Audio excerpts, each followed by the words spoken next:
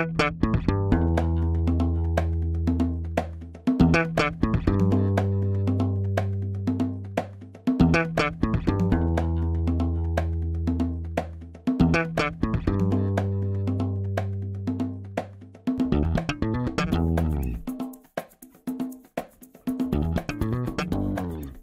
Este é o Tapa da Mão Invisível, podcast destinado àqueles que querem ouvir ideias que abalam sociedades e não são ditas na mídia tradicional. Bem-vindo, meu amigo Paulo Fux. Tudo certo, Júlio? Tudo beleza, cara. Que episódio, hein? Episódio longo de duração, mas olha, eu adorei. A gente falou das engrenagens da economia global. É justamente discutindo o sistema que faz esse mundo girar, como é que ele funciona. O Urris deu outra aula, a terceira aula dele aqui no podcast. Então, se você quer saber como é que funciona o ciclo econômico, as taxas de juros, como é que funciona o mercado americano e o brasileiro em relação a ele, ouça esse episódio. A gente fala também de Bitcoin, fala de dólar, fala das perspectivas da economia. Então, tudo isso e muito mais é só acompanhar. Exatamente. Fernando Urrich, para quem não conhece, é pouco provável que alguém não conheça, mas para quem não conhece, ele é Head de Educação na Liberta Investimentos, formado em Administração de Empresas pela PUC do Rio Grande do Sul, é mestre em Economia da Escola Austríaca pela Universidade Rei Juan Carlos, Madrid, Espanha, com experiência mundial na indústria de elevadores e nos mercados financeiro e imobiliário brasileiros. É conselheiro do Instituto Mises Brasil, estudioso de teoria monetária, entusiasta de moedas digitais, youtuber com um canal de mais de 500 mil inscritos, também é autor do livro Bitcoin, a moeda na era digital. O cara é um fenômeno de produção de conteúdo. Sigam o Urrich em todas as redes sociais também, não deixem de seguir ele. O canal dele é muito bom. O cara é uma fera. É isso aí. E o Tapa é um oferecimento da DBI Contabilidade, a contabilidade do programa, que a gente é uma empresa, né? E a gente tem a nossa própria contabilidade, que é a nossa parceira, tem 25 anos de experiência, mais de 300 clientes e ajuda a descomplicar a sua vida perante o Estado. Então, se você é uma empresa aí ou enfim, quer abrir sua empresa, procure a DBI no arroba DBI Contabilidade no Instagram ou no contato arroba DBI Contabilidade para ganhar uma promoção de quatro meses de isenção de honorários, caso você seja ouvinte do Tapa, mais abertura gratuita da sua empresa. Exatamente. Você quer fazer mais do que abrir uma empresa, quer participar de uma comunidade de valores sólidos? Entre para a nossa comunidade do Tapa da Mão Invisível. Entre no nosso site, tapadamãoinvisível.com.br barra comunidade. Lá vai ter o linkzinho para fazer a sua contribuição e receber o um convite para participar do nosso Discord. É lá que a gente passa a semana conversando com os nossos apoiadores, pessoas com valores pró-liberdade e que estão aprendendo pró-liberdade com o passar do tempo. Tem todos os assuntos que você pode imaginar lá dentro. Pessoas se aglutinam em assuntos comuns, pessoas que falam de TI, pessoas que falam de economia, política, falam de um monte de coisa e discute tese de investimento. E tem um monte de coisa lá, né, Fux? É isso aí. O Júlio abre até a carteira de investimentos dele lá, quanto está dando a busca dele contra a inflação, né, Júlio? Exatamente. Então... Eu, é difícil ganhar dela. Tá? Tô ali na peleiazinha ali.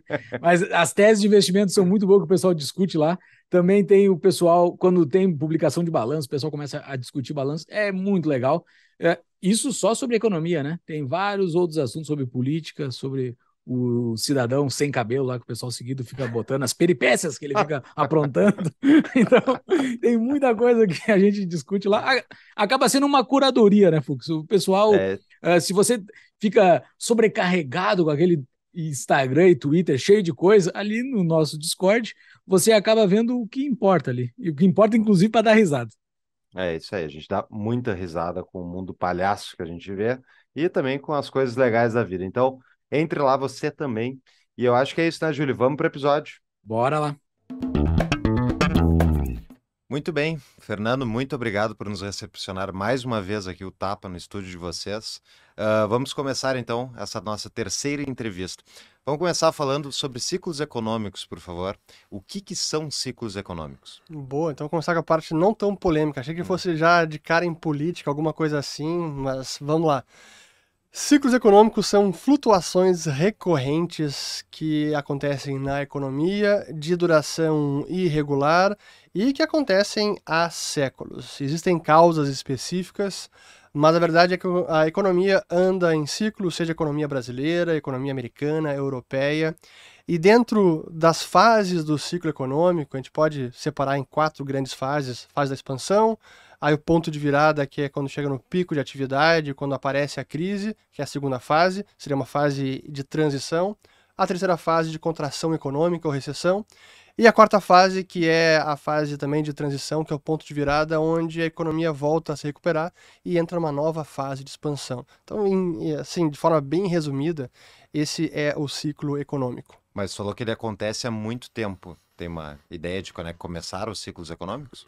Pois, digamos, nos primórdios, no início da ciência econômica, ou das primeiras uh, inquietações intelectuais que buscavam entender por que a economia andava em ciclos, era muito mais ligado a questões climáticas, safras agrícolas, e à medida que a economia foi se desenvolvendo e se sofisticando, eh, especialmente depois da, do século XVIII ainda mais com a Revolução Industrial, os teóricos, a gente poderia dizer que um dos principais ou dos, dos que foi os pioneiros em entender a mecânica do ciclo e até surfar o ciclo, foi o Richard Cantillon, isso na década de 1730, que é o seu tratado, antes de Adam Smith, e que ele descreveu muito bem todos os fenômenos por trás do ciclo econômico, mas eu diria que a partir do século XVIII e XIX que os teóricos se aprofundaram em entender as causas, por que acontecem, o que está por trás, e aí realmente no século XX, com Mises e com Hayek, é que os teóricos econômicos aprofundaram ainda mais nas explicações de por que eles acontecem e o que os governos fazem para influenciar, para mitigar, para impedir e como, o que, quais são os efeitos reais também na economia. Né? Muito bem. Uh, tu falou dos governos e os ciclos econômicos. Então, haviam ciclos econômicos antes dos governos serem tão intervencionistas. Era uma questão relacionada à produtividade da economia, então. Esse é, é um grande debate. Quando se fala de teoria do ciclo econômico, não tem. não é uma algo consensual, todas as escolas de pensamento econômico concordam e convergem, não, exatamente essa é a causa e é por isso que ele acontece. Até mesmo dentro da escola austríaca de economia há essa divergência.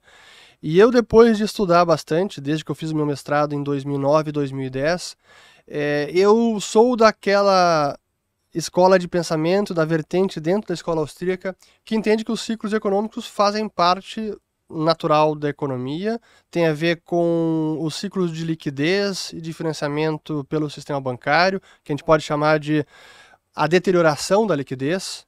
Então, tem a ver com alavancagem, financiamento, tomada de crédito. E isso não necessariamente pressupõe a existência de um banco central. Então, os ciclos podem e ocorreram mesmo sem um banco central que está ali manipulando taxa de juros e tentando orquestrar toda a expansão creditícia pelo sistema bancário. Então, ciclos, na minha avaliação, sim ocorrem mesmo sem um banco central. Agora, aí que entra a parte importante que aí eu concordo com praticamente todos os economistas da escola austríaca a existência de um banco central manipulando variáveis importantes, como juros, como crédito, acaba potencializando os efeitos do ciclo ou intensificando o ciclo econômico, seja em intensidade, seja em longevidade, evitando que a crise chegue. Sempre, ah, quando está próximo de da economia está desaquecendo, né? reduz juros para estimular um pouco mais, fazer ela andar um pouquinho mais.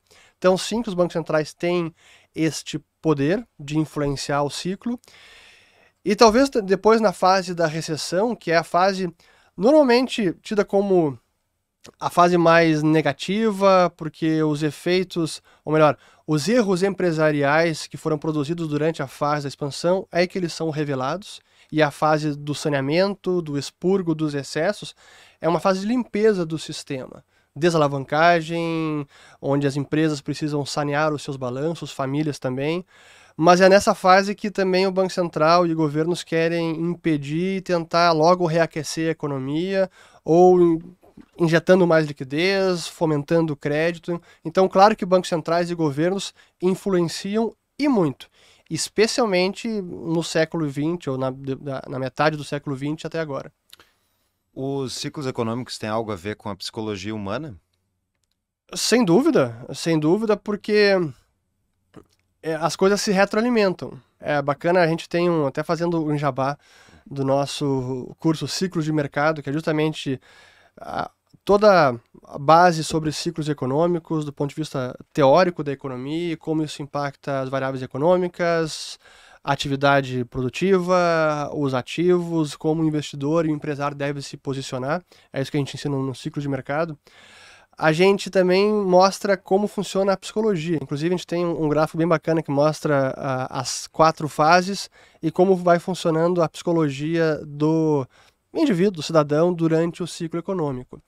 Especialmente no início da fase de expansão e mais para o final, é aquele momento em que a população está muito alegre. Ou seja, quando o crédito está fluindo, tudo dá certo, o investimento, nada dá errado, o cara constrói uma fábrica, abre uma loja, as vendas acontecem, não precisa demitir, pelo contrário, contrata mais funcionários, amplia a capacidade produtiva, investe na bolsa, as ações sobem.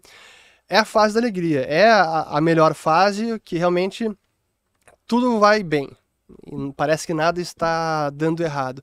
Quando é justamente o oposto, porque é nesse momento que os erros estão sendo cometidos. Está se investindo demais no setor de aço, ou está se alavancando demais é, o setor de bens de consumo. Enfim, é nesse momento, nessa fase inicial, que os erros estão sendo produzidos, que os excessos estão acontecendo e depois que vem a limpeza disso tudo. Mas a psicologia também, ela é, é claramente é, é as marcas da psicologia estão lá. A gente vê as capas de revista. Eu lembro que foi a da, da grande expansão brasileira pós-crise financeira 2008, em que tínhamos capas da Isto É e outras revistas semanais ou mensais, mostrando como o brasileiro nunca esteve tão feliz, consumindo tanto. E claro, cara, as torneiras do crédito estavam abertas, todo mundo podia consumir se endividando, que depois vinha a hora de pagar a fatura, mas no momento em que o consumo está acontecendo, o crédito flui, as vendas acontecem, desemprego cai, produção sobe, tudo está bem. E depois quando vem a fase seguinte, aí a psicologia é, é o inverso. Aí tudo parece que dá errado, o pessoal fica mais pessimista, acontecem demissões e parece que o mundo vai acabar e não tem mais saída. Então, sim, é, é bacana ver como a psicologia funciona ao longo do ciclo econômico. Muito bem. Não dá para a gente mensurar. Primeiramente, agradecer por, por me receber online hoje, porque a outra vez eu estava aí contigo e hoje eu não pude estar, mas valeu.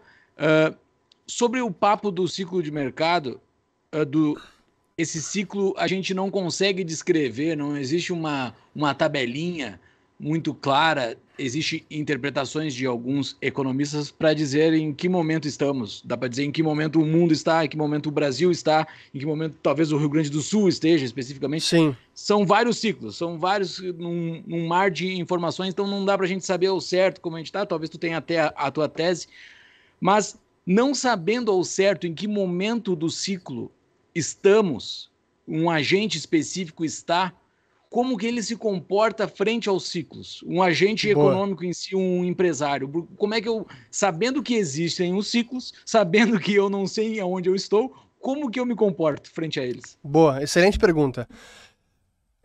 A identificação com uma precisão cirúrgica do tipo, estamos agora aqui numa escala de 1 a 10 no ponto 7,6 do ciclo econômico. Isso a gente realmente não tem. Mas por meio dos indicadores econômicos, e há uma infinidade deles, nós podemos nos aproximar dessa resposta. No sentido, a, a economia está crescendo, estamos na fase de expansão, ou estamos mais próximo do fim, já chegando no esgotamento dessa expansão, ou contrário, a economia está claramente no período recessivo. Então a gente consegue boas aproximações que não deixam nem o empresário, nem o investidor completamente perdido e refém do, do que vai acontecer. Cara, não sei o que acontece, então eu sou vítima do sistema. Exato. Não é não é essa situação, é possível realmente fazer, tirar o pulso da economia por meio da leitura dos indicadores. E aí, quais deles? Há uma, uma série. Tem indicadores reais, por exemplo, de produção, de vendas físicas, temos indicadores monetários de crédito, os agregados monetários, crédito bancário, os próprios preços da economia, taxas de juros, preços de fretes, preços de commodities, preço de petróleo, uh, spreads de juros, então diferencial de juros do tesouro da dívida pública, que é a mais segura em tese, versus dívida corporativa, especulativa, grau de investimento.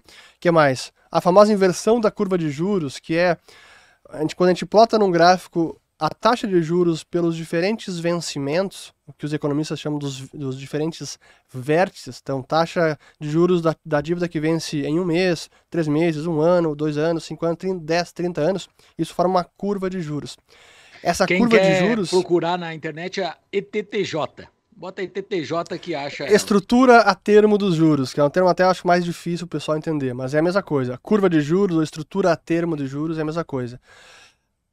A própria inclinação da curva de juros tem momentos em que ela vai alterando ao longo do ciclo econômico. Por exemplo, no início da fase de expansão, a curva costuma estar bem inclinada. Os vencimentos mais curtos são menores, a taxa é menor do que o vencimento mais longo.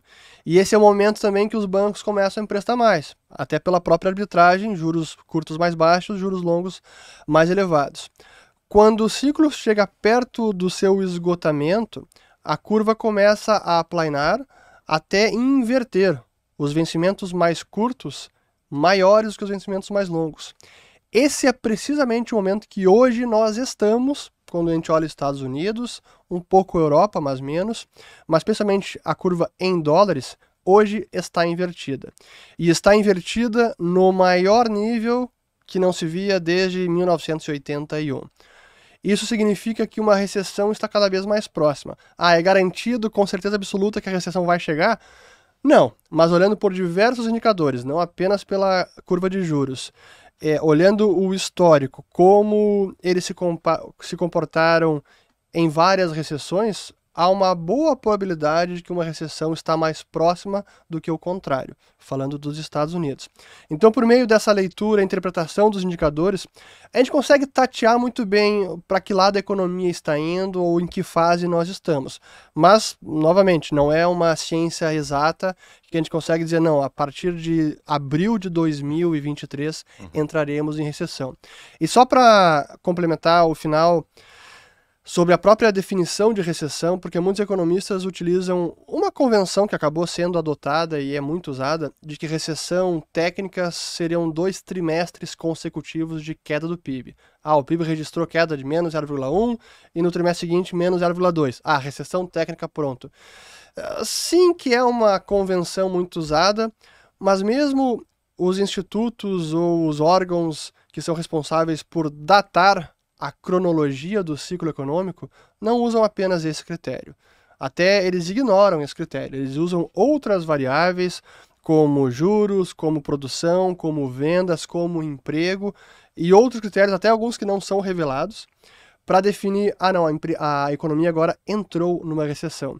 Portanto, a definição científica que estamos ou não numa recessão, ela é sempre a posteriori. Uhum. Então, a, por exemplo, a economia brasileira entrou em recessão em março de 2014, mas o, a determinação exata, assim, entramos na recessão, ela foi acontecer meses depois. No Brasil, o órgão que se auto-intitulou como responsável por datar os ciclos é um comitê que está vinculado ao Instituto Brasileiro de Economia da FGV, chamado CODACE, Comitê de Datação de Ciclos Econômicos que tem vários membros, o Alfonso Pastore é um deles, é, e lá fora é o National Bureau of Economic Research, o NBER, o órgão que data os ciclos econômicos desde 1854, no caso dos Estados Unidos. É, e aqui nos Estados Unidos tem o fenômeno desses dois trimestres consecutivos, mas não ocorreu o desemprego, que é onde tem se argumentado muito, né? O desemprego geralmente ocorre dentro de uma recessão, então são vários outros números que, que têm que ser considerados, né? Eu acho Exatamente. que o desemprego ele é um, é um ele é um drive muito forte. Mas sobre pois o é. Brasil, tu deu muita importância eu, sobre a taxa de juros. Vai lá, vai Deixa lá. eu falar importante, você falou do, do desemprego. Até porque esse é um indicador importantíssimo, mas ele é muitas vezes mal interpretado. Porque dentro do, da ciência dos ciclos econômicos, você tem indicadores antecedentes, coincidentes e atrasados. Os antecedentes são aqueles que já mostram alguma mudança de direção ou são impactados antes do restante da economia. Então, eles são uma sinalização importante de para onde pode ir a economia. Ah, quando a gente fala de ciclo é importante, de indicador, é importante não um único indicador, mas um conjunto de indicadores por algum tempo para verificar uh, a relevância daquela, daquele sinal. Pô, se apenas vendas, mas desemprego não e produção não, calma, vamos acompanhar o restante dos indicadores. E também confirmação de tendência. Ah, um, um mês caiu, mas no outro subiu, então não dá para dizer ainda para onde está indo. É preciso também esperar e acompanhar ao longo do tempo. O desemprego é um indicador atrasado, porque ele só apresenta uma deterioração ou uma melhora depois que o ciclo já virou. Depois que já iniciou a recessão, é que realmente a gente vê o desemprego aumentar. Então, muita gente diz, por exemplo, quando estávamos em 2019, que a taxa de desemprego também estava no nível recorde, mais baixo em 50 anos nos Estados Unidos, o pessoal apontava para a taxa de desemprego e dizia: Ó, oh, como é que vai chegar uma recessão se o desemprego está nas mínimas? Uhum. Quando é justamente o oposto. Esse é um sinal de que está próximo de um fim de ciclo econômico. E naquele momento, agosto, setembro de 19, a curva de juros também inverteu. Claro, teve a pandemia, mas já tinha alguns sinais de que um, um fim de ciclo estava chegando. Agora, desculpa, desculpa segue deu... com a pergunta. Não, não, ótimo. Uh, tu deu muita ênfase para a taxa de juros e a inversão dela, falou muito da, dos Estados Unidos. A do Brasil tá meio que flat, né? As taxas de juros de curto prazo estão muito semelhantes com as de longo prazo, né? Pois é, o, o Brasil é um, um case ruim para a gente ana analisar ciclo econômico, até pela nossa nosso histórico de estabilidade macro relativamente curto. Nossa estabilidade data desde o plano real. São 27 anos, 28 anos vai ser agora. Não, foi 90, julho de 94, 20, sim, 29 anos vai ser. 29 anos vai ser esse ano, em junho de, 90, de, de 2023. Ou seja, quase 30 anos. Quando a gente observa os dados macro nos Estados Unidos, pô, a gente tem pelo menos 100 anos de, um, de série histórica, de estabilidade, que a gente consegue analisar com muito mais precisão. Esse é um problema do Brasil quando a gente analisa as variáveis, especialmente de juros. O outro problema é que a nossa taxa já é muito alta. Então, a nossa curva de juros, primeiro, costuma estar num patamar bem mais elevado do que os demais países. É, e, portanto, muitas vezes ela tem uma, um comportamento flat, né? ela apresenta uma forma plana e não inclinada. Mas mesmo no Brasil a gente consegue muitas vezes observar a inclinação ou a inversão da curva de juros. Muito bem, mas eu tenho várias perguntas aí dentro, a gente uh, quer explorar a questão da taxa de juros também, mas eu queria voltar um passo ali, até para entender, fazer esse comparativo. Tu comentou que haviam ciclos econômicos anteriores à, à intervenção estatal, que eles eram ligados à liquidez. O que, que, é, o que tu quer dizer com isso, com a liquidez e como é que funcionava isso na prática? Quando a gente analisa, fala do ciclo econômico, a gente pode olhar o ciclo econômico tanto pelo, pela ótica da produção, pela ótica das vendas, uh, pela ótica do comércio e das mercadorias, do trabalho, do serviço. Mas a outra ótica que a gente pode olhar também é pela ótica monetária, ou pela ótica do crédito. Quando eu falo de liquidez e de deterioração da liquidez, é justamente o ato de se alavancar, o ato de tomar crédito, que significa que as famílias ou as empresas estão comprometendo a sua liquidez. Certamente não em D zero, curtíssimo prazo, mas a mais médio e longo prazo significa que uma dívida contraída hoje precisa ser paga nos próximos meses, anos, e isso compromete a minha liquidez futura. Então, é, quando a gente fala de liquidez, tem a ver com a expansão do crédito pelos bancos e a alavancagem é, das famílias e das empresas. E é o que a gente vê ao longo do ciclo também. Na fase de expansão, a alavancagem das famílias aumenta, a alavancagem das empresas aumenta, e o contrário também é verdade. Quando vem a recessão, é quando as empresas buscam e as famílias desalavancar, repagar as dívidas, poupar mais, outro motivo que as vendas caem, empresas precisam demitir, que é essa, essa, esse ambiente de limpeza dos excessos que foram produzidos na fase de expansão.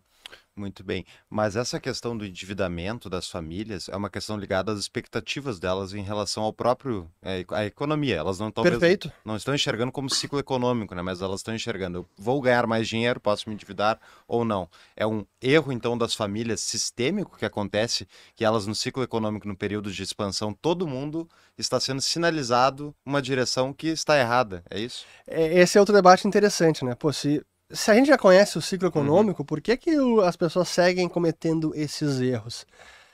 E tem algumas explicações. A primeira é que quase ninguém entende o ciclo econômico de verdade. Assim, mesmo dentro da. Meio Fed?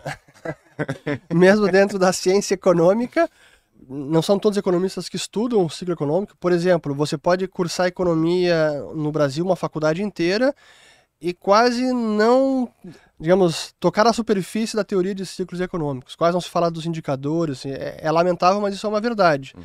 Então, mesmo economistas não dominam a ciência de ciclos. Aí, quanto mais trabalhadores, mesmo empresários, eles acabam, em larga medida, sendo vítimas do ciclo, para o bem e para o mal. Então, quando estamos na fase de expansão, os incentivos são para o endividamento. Até porque aí entra também a psicologia.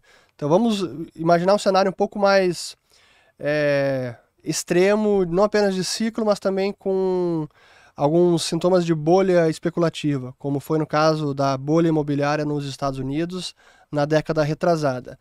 Quando a gente voltava lá atrás, 2004, 2005, o seu vizinho estava contraindo hipoteca, comprando imóveis, vendia no mês seguinte com lucro, comprava mais imóveis, se alavancava mais. Quando viu, o sujeito tinha quatro, cinco hipotecas, várias propriedades e ganhando muito dinheiro. Eu olhando isso, vou fazer a mesma coisa. Uhum. O crédito está cada vez mais barato, não preciso comprovar renda, os famosos uhum. ninja loans, no income, no asset, no job, assim, que não precisava de emprego, nem de renda, nem de ativo nenhum, nem de garantia, e conseguia um empréstimo. Então, naquele momento, as pessoas são incentivadas a entrar na onda da bolha. E não apenas os indivíduos, famílias, pessoas físicas, mas empresas também. Uhum.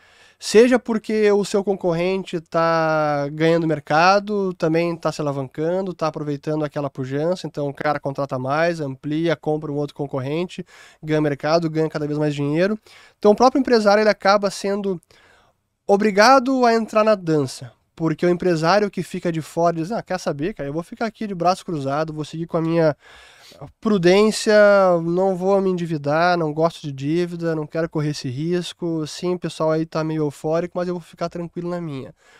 Até pode dar certo, mas ele vai também perder mercado. E daqui a pouco pode vir um concorrente mais é, ousado e fazer uma, um uhum. hostile takeover, né? uhum. né? Uma é, tomada hostil de comprar o cara. Então, Durante o ciclo, a fase de expansão, as pessoas são incentivadas a surfar o ciclo e a entrar na dança. Acaba esse sendo o, o incentivo. Aí pode pensar, mas o cara não está ele não está cometendo um erro.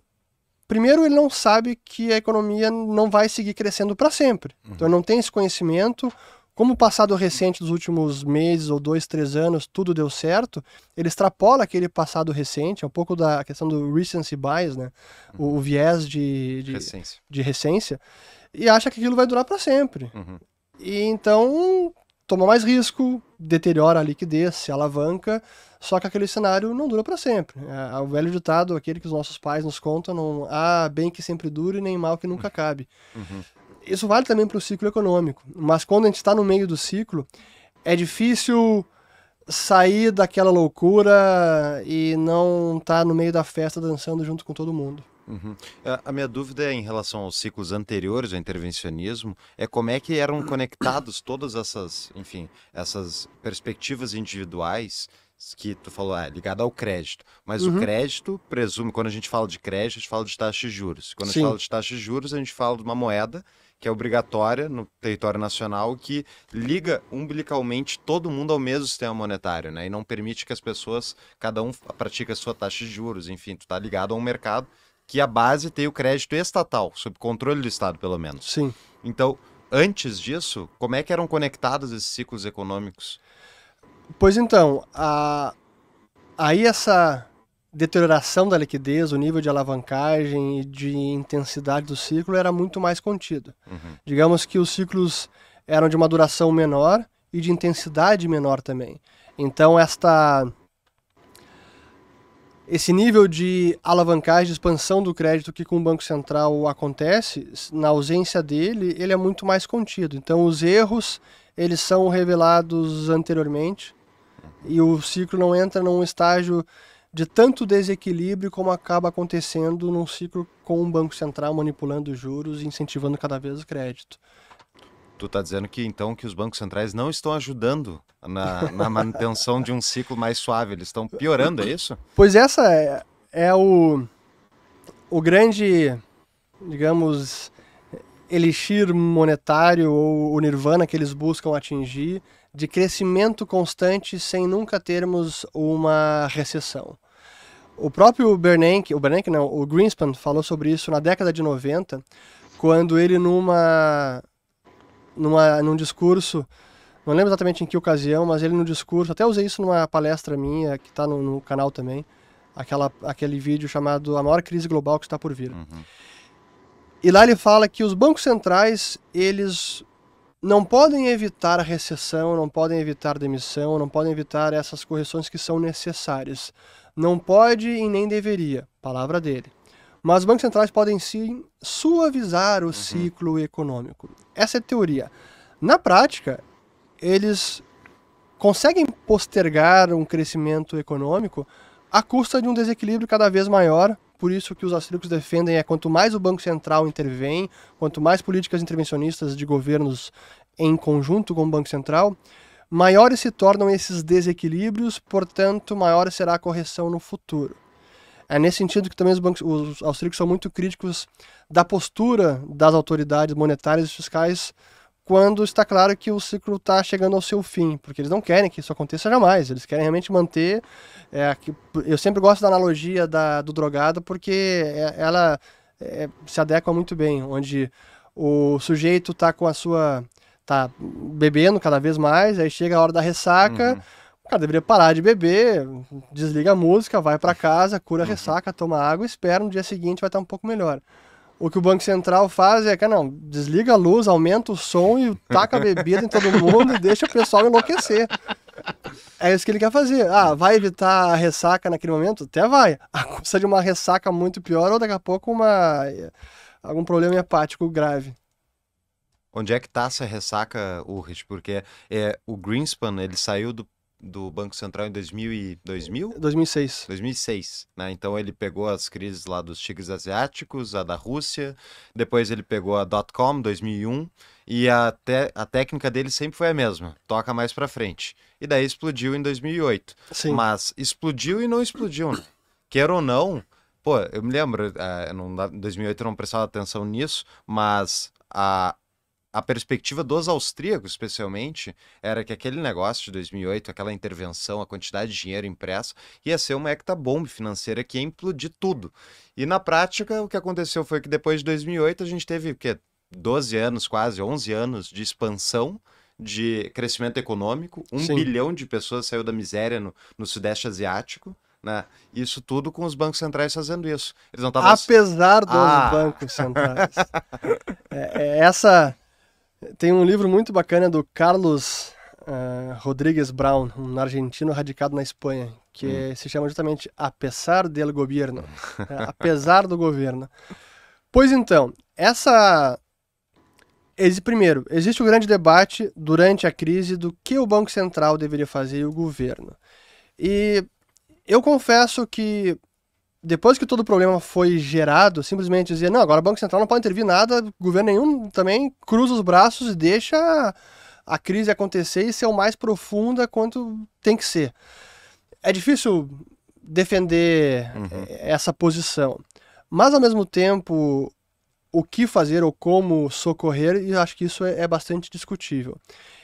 E a forma como eles socorreram, usando o dinheiro do contribuinte, imprimindo dinheiro, o famoso bailout, que acho que é muito criticada, especialmente pelos austríacos. Tanto é que os bancos, na minha visão, deveriam ter sido socorridos pelos próprios credores, em última instância, acionistas credores, em última instância, os próprios depositantes, convertendo dívida em equity, se tornando o banco solvente.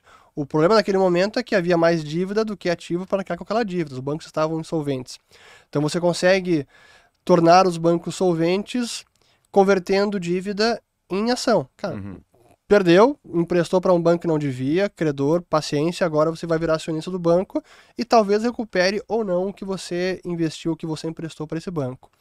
Esse é o famoso bail-in. Não ia quebrar tudo? Não. Não? É, aí que tá. Uh, estudos da época, até isso foi produzido num documentário chamado Fraude Explicando a Grande Recessão, que foi produzido por vários dos meus professores durante o mestrado. E o Juan Ramon Rayo dizia que a estimativa era que cerca de 5 a 10% dos passivos teriam que ter sido convertidos em equity, em patrimônio. Uhum é, um capital dos bancos para torná-los solventes, então para fazer o, o bail-in. Então não era necessário tudo aquilo que foi feito. Então, primeiro, acho que o remédio é muito discutível. Em vez de bail-out, poderia ter sido um bail-in. Acho que até hoje isso é importante. Evoluíram para promover um bail-in caso venha outra recessão similar. Mas hoje os bancos estão com tanta liquidez e caixa por conta do que foi feito desde então que talvez não seja nem necessário. Hoje, se vier uma recessão, eu não imagino que seria uma crise financeira como foi 2008, não pelos bancos, porque eles estão uhum. bem capitalizados. Mas é o que foi feito? Eles compraram, o Banco Central, o Fed, começou a comprar ativos dos bancos e deu o melhor ativo, que é reserva bancária, o dinheiro eletrônico criado do nada, em troca de hipotecas e de dívida pública americana, os títulos do Tesouro, os famosos treasuries. E é que entrou um erro de diagnóstico dos efeitos dessa política pelos próprios austríacos. Porque eles diziam, como, como você alertava antes, que, pô, então o Banco Central vai imprimir dinheiro, vai gerar uma inflação, vai ser uma hecatombe, cataclisma econômico mundial. E não. Porque da maneira que foi feita uh, essa intervenção, esse dinheiro criado pelo Fed, ele não circulava na economia. Não era o cheque de estímulo que era dado para as pessoas, aquele dinheiro já em D0 está no bolso das famílias, de empresas, ele pode ser gasto. Era um dinheiro que ficava represado no cofre dos bancos. Uhum. Essas são as reservas bancárias. Então, sim, saneava os bancos, melhorava o balanço patrimonial deles, tirava os ativos tóxicos dos bancos, imprimia muito dinheiro, mas aumentava apenas a base monetária e por meio de reservas bancárias, que é um dinheiro que fica relativamente inerte no cofre do banco e não circula na economia. Por isso que, apesar de toda essa impressão, nós não vimos a inflação de preços disparar ao longo da década passada, e só foi acontecer depois da pandemia, porque aí tivemos não apenas essa impressão de dinheiro pelos bancos centrais, que é o famoso QE, Quantitative Easing, afrouxamento monetário, mas também os governos escrevendo literalmente cheques e enviando pelos correios para as famílias americanas. E aí esse conjunto de fatores, as duas políticas juntas, monetária e fiscal, aí sim gerou uma enorme quantidade de dinheiro circulando na economia. Uma pausa para um rápido anúncio. Está com medo do que pode acontecer no Brasil? Nada como um plano B, correto? Caso você esteja pensando em residir em outro país com nacionalidade europeia ou aplicar para um visto, use o serviço da Emigrarme, empresa especializada em direito internacional que oferece suporte completo ao imigrante. A empresa auxilia na obtenção da tão desejada nacionalidade italiana, portuguesa, espanhola, dentre outras e também oferece suporte para abertura de empresas na Europa, buscando a aplicação do melhor visto para cada caso. Eles contam com uma equipe de advogados credenciados na Europa e nos Estados Unidos, habilitados a atender às necessidades dos imigrantes para obtenção da legalização e residência no país de destino. Entre em contato através do Instagram emigrarme, emigrar.me, com E de escola, ou no site no descritivo do episódio, tapadamaiovisível.com.br barra emigrar-me para pegar o WhatsApp da empresa. Voltamos ao episódio. Mas a expansão que... Houve uma expansão anterior a 2008, foi começar talvez ali 2001 nos Estados Unidos, Sim. pelo Fed, e o que eles fizeram foi, foi uma versão mais light do que aconteceu em 2008, não foi? Hum, é houve... É o que, que, eles fizeram exatamente a partir da crise dot-com em 2001? Reduzir juros. Reduzir juros. Basicamente, redução de juros. Então, a taxa chegou no mínimo de 1,25% já em 2002, eu acho. E, e o, me E o mecanismo de redução de juros deles, como é que se transmite dentro da economia e para os bancos? É criando mais reservas bancárias, mas não no mesmo montante que foi feito Tá. depois. Então, eles conseguem, digamos, controlar mais esse regime de criação de reservas. Até entrando aqui numa tecnicidade de política monetária, o regime pré-2008 é o que eles chamavam de regime de escassez de reservas, Uhum. onde o Fed controla a escassez de reservas para manter a taxa de juros na meta que ele queria. Pós 2008, como ele criou muito dinheiro e deu para os bancos, os bancos ficaram com reservas abundantes Uhum. ou reservas em excesso, além do compulsório. Uhum. Aí o regime mudou. A partir desse momento, não tinha mais uma meta-alvo para a taxa básica lá, que é a Federal Funds Rate, e passou a ser uma banda-alvo.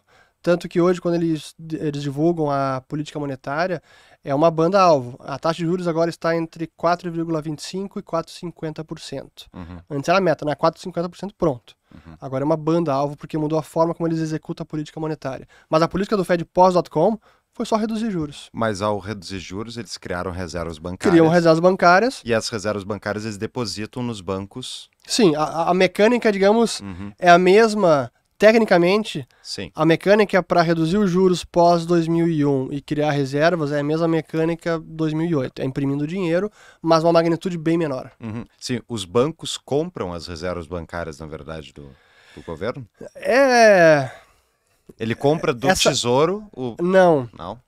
Essa relação sistema bancário e Fed, ou Banco Central, e o Brasil funciona da mesma maneira, ela é até pouco entendida, porque quem realmente controla a conta corrente dos bancos comerciais junto ao Banco Central, que é a chamada reserva bancária, é o Banco Central, não é o Banco Comercial.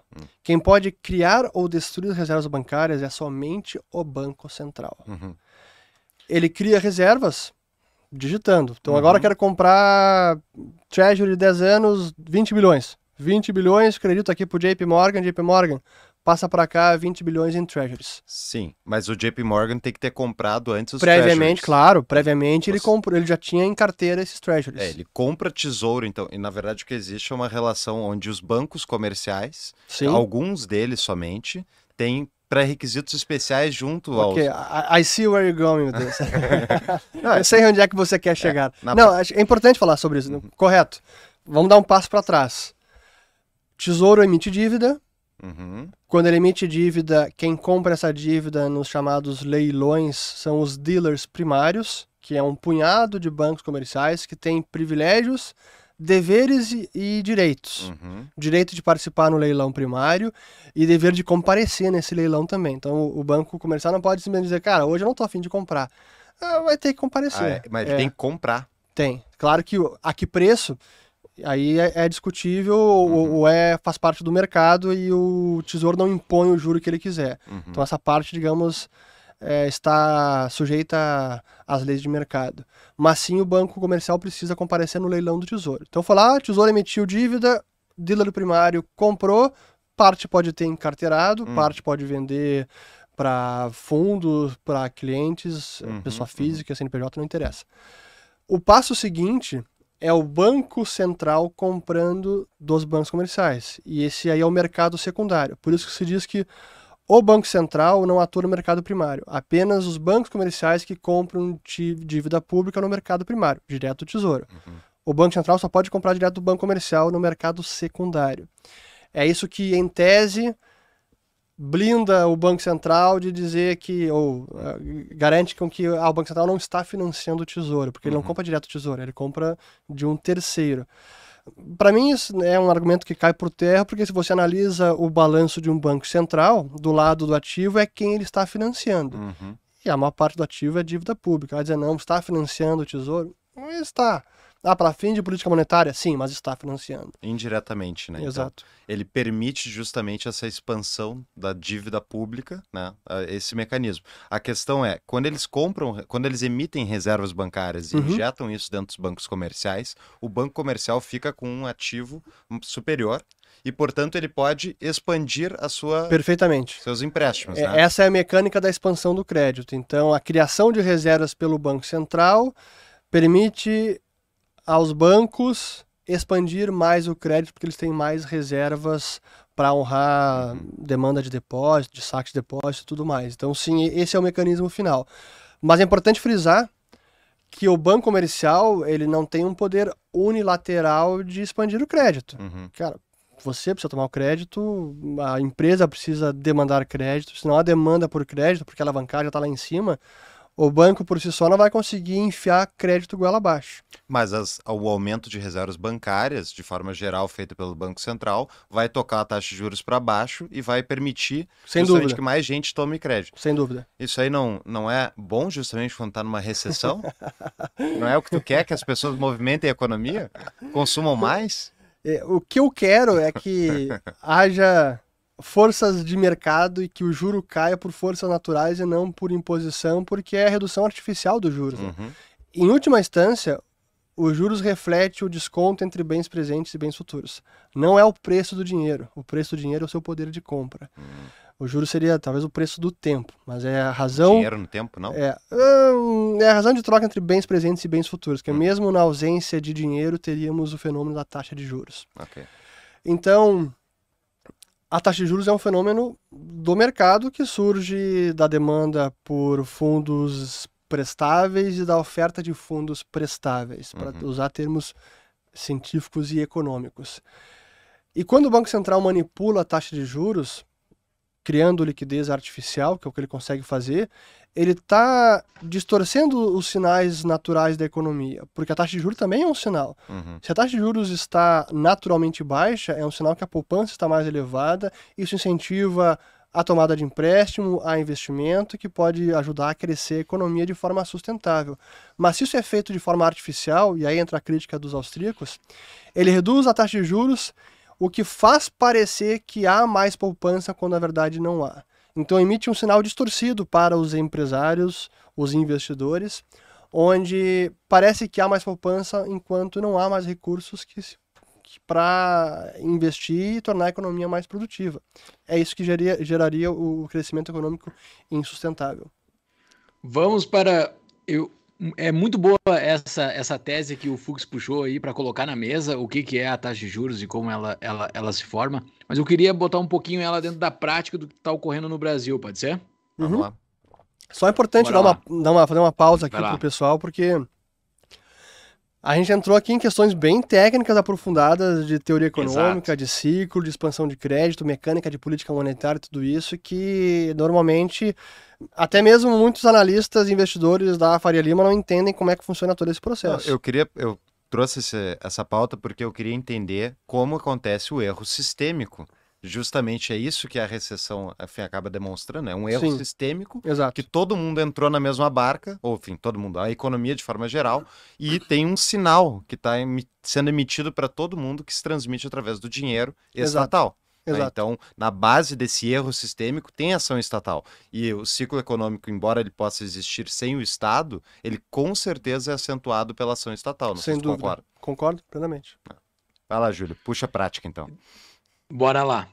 Estamos, eu estava vendo os números das 19 maiores economias. Não sei por que é 19 não, e não 20, mas das 19 maiores economias, o Brasil é disparado a maior taxa de juros real. Né? Porque a tomada de decisão do, do banqueiro central lá, eh, da taxa de juros, é o compromisso, pelo menos, do banqueiro central brasileiro, é controlar a inflação, que é o produto dele. Né? O produto dele é o real, ele tem que deixar o real com uma boa qualidade, então uma boa qualidade da moeda é baixa inflação. Né? Uhum. Ah, esse é o que ele tem de compromisso. Estamos com essa ah, testando pela primeira vez no Brasil um banco central que não tem correlação com o seu com o presidente da República, com o ministro da Fazenda, então Até Vai 31 ser de, próximos- de- até 31 de dezembro de 2024. que é quando ele pode indicar um próximo presidente. É exatamente aí que eu quero chegar. Estamos com essa taxa de juros completamente descolada ah, do resto do mundo da taxa de juros real. A nossa inflação está baixa, relativamente, ela está baixa, ela está 5 e pouco, e a taxa de juros está a 13, que dá, uma, que dá um gap aí de, 3, de 7%, que dá uma taxa de juros real de 7%. A segunda maior dessas 19 economias, para vocês terem ideia, é 2%. Então tem quatro países só com taxa de juros real, o resto está tudo negativo. Tudo taxa de juros real negativa. Não, então, assim, vendo, vendo pela ótica das, dessas maiores economias, o Brasil está num outro rumo, diferente das demais economias. Uhum. Isso se mantém por longo prazo, porque não é normal o ficar tão deslocado. E eu estava vendo, dentre os, dentre os países que estão com essa, com esse, com essa taxa de juros completamente uh, baixa, desses, desses 19 países, só tem três, só tem quatro, três países que têm um risco pior que o do Brasil. Medido por aquelas três empresas de risco lá, só tem três piores que o Brasil, que é a Rússia, evidentemente, a Argentina, que também está ruim, e a Turquia, que também está ruim. Então, o Brasil está com, está com uma qualidade de risco muito baixa, está muito ruim, e está compensando na taxa de juros real, que aparentemente é o ban banqueiro central tomando uma boa decisão. Ele está ele tá querendo uh, que a sua moeda de fato tem um bom valor, então ele está tomando uma boa decisão que esses outros três países não estão tomando, mas eh, ele vai conseguir segurar isso por muito tempo. Assim, aparentemente eh, ele não tem muita, muita, muita força política para manter isso, como esses outros três países não têm. Sim. Cara, essa pergunta dá para a gente derivar aqui em uma hora de uhum. discussão, porque a gente precisa separar ela. Vamos, vamos primeiro entender o que aconteceu com a taxa de juros recente. Aliás, antes, deixa eu dar um passo para trás. E, okay.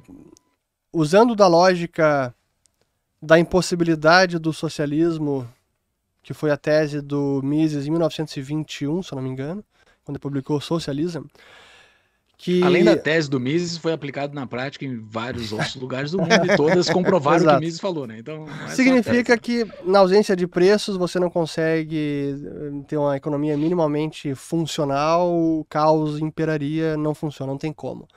Mas a verdade é que essa teoria ela se aplica a qualquer atuação estatal no micro. Então, a impossibilidade do socialismo, ela também se aplica à própria atuação do Banco Central, no sentido de o Banco Central não tem como saber qual é a taxa de juros que ele deve colocar. Uhum. A hoje é 13,75%? Ou será que é 13? Ou será que é 12,5? Ou será que é 12,89? Ele não tem como saber. A taxa de juros da economia só pode ser determinada pelo livre atuar das forças de mercado.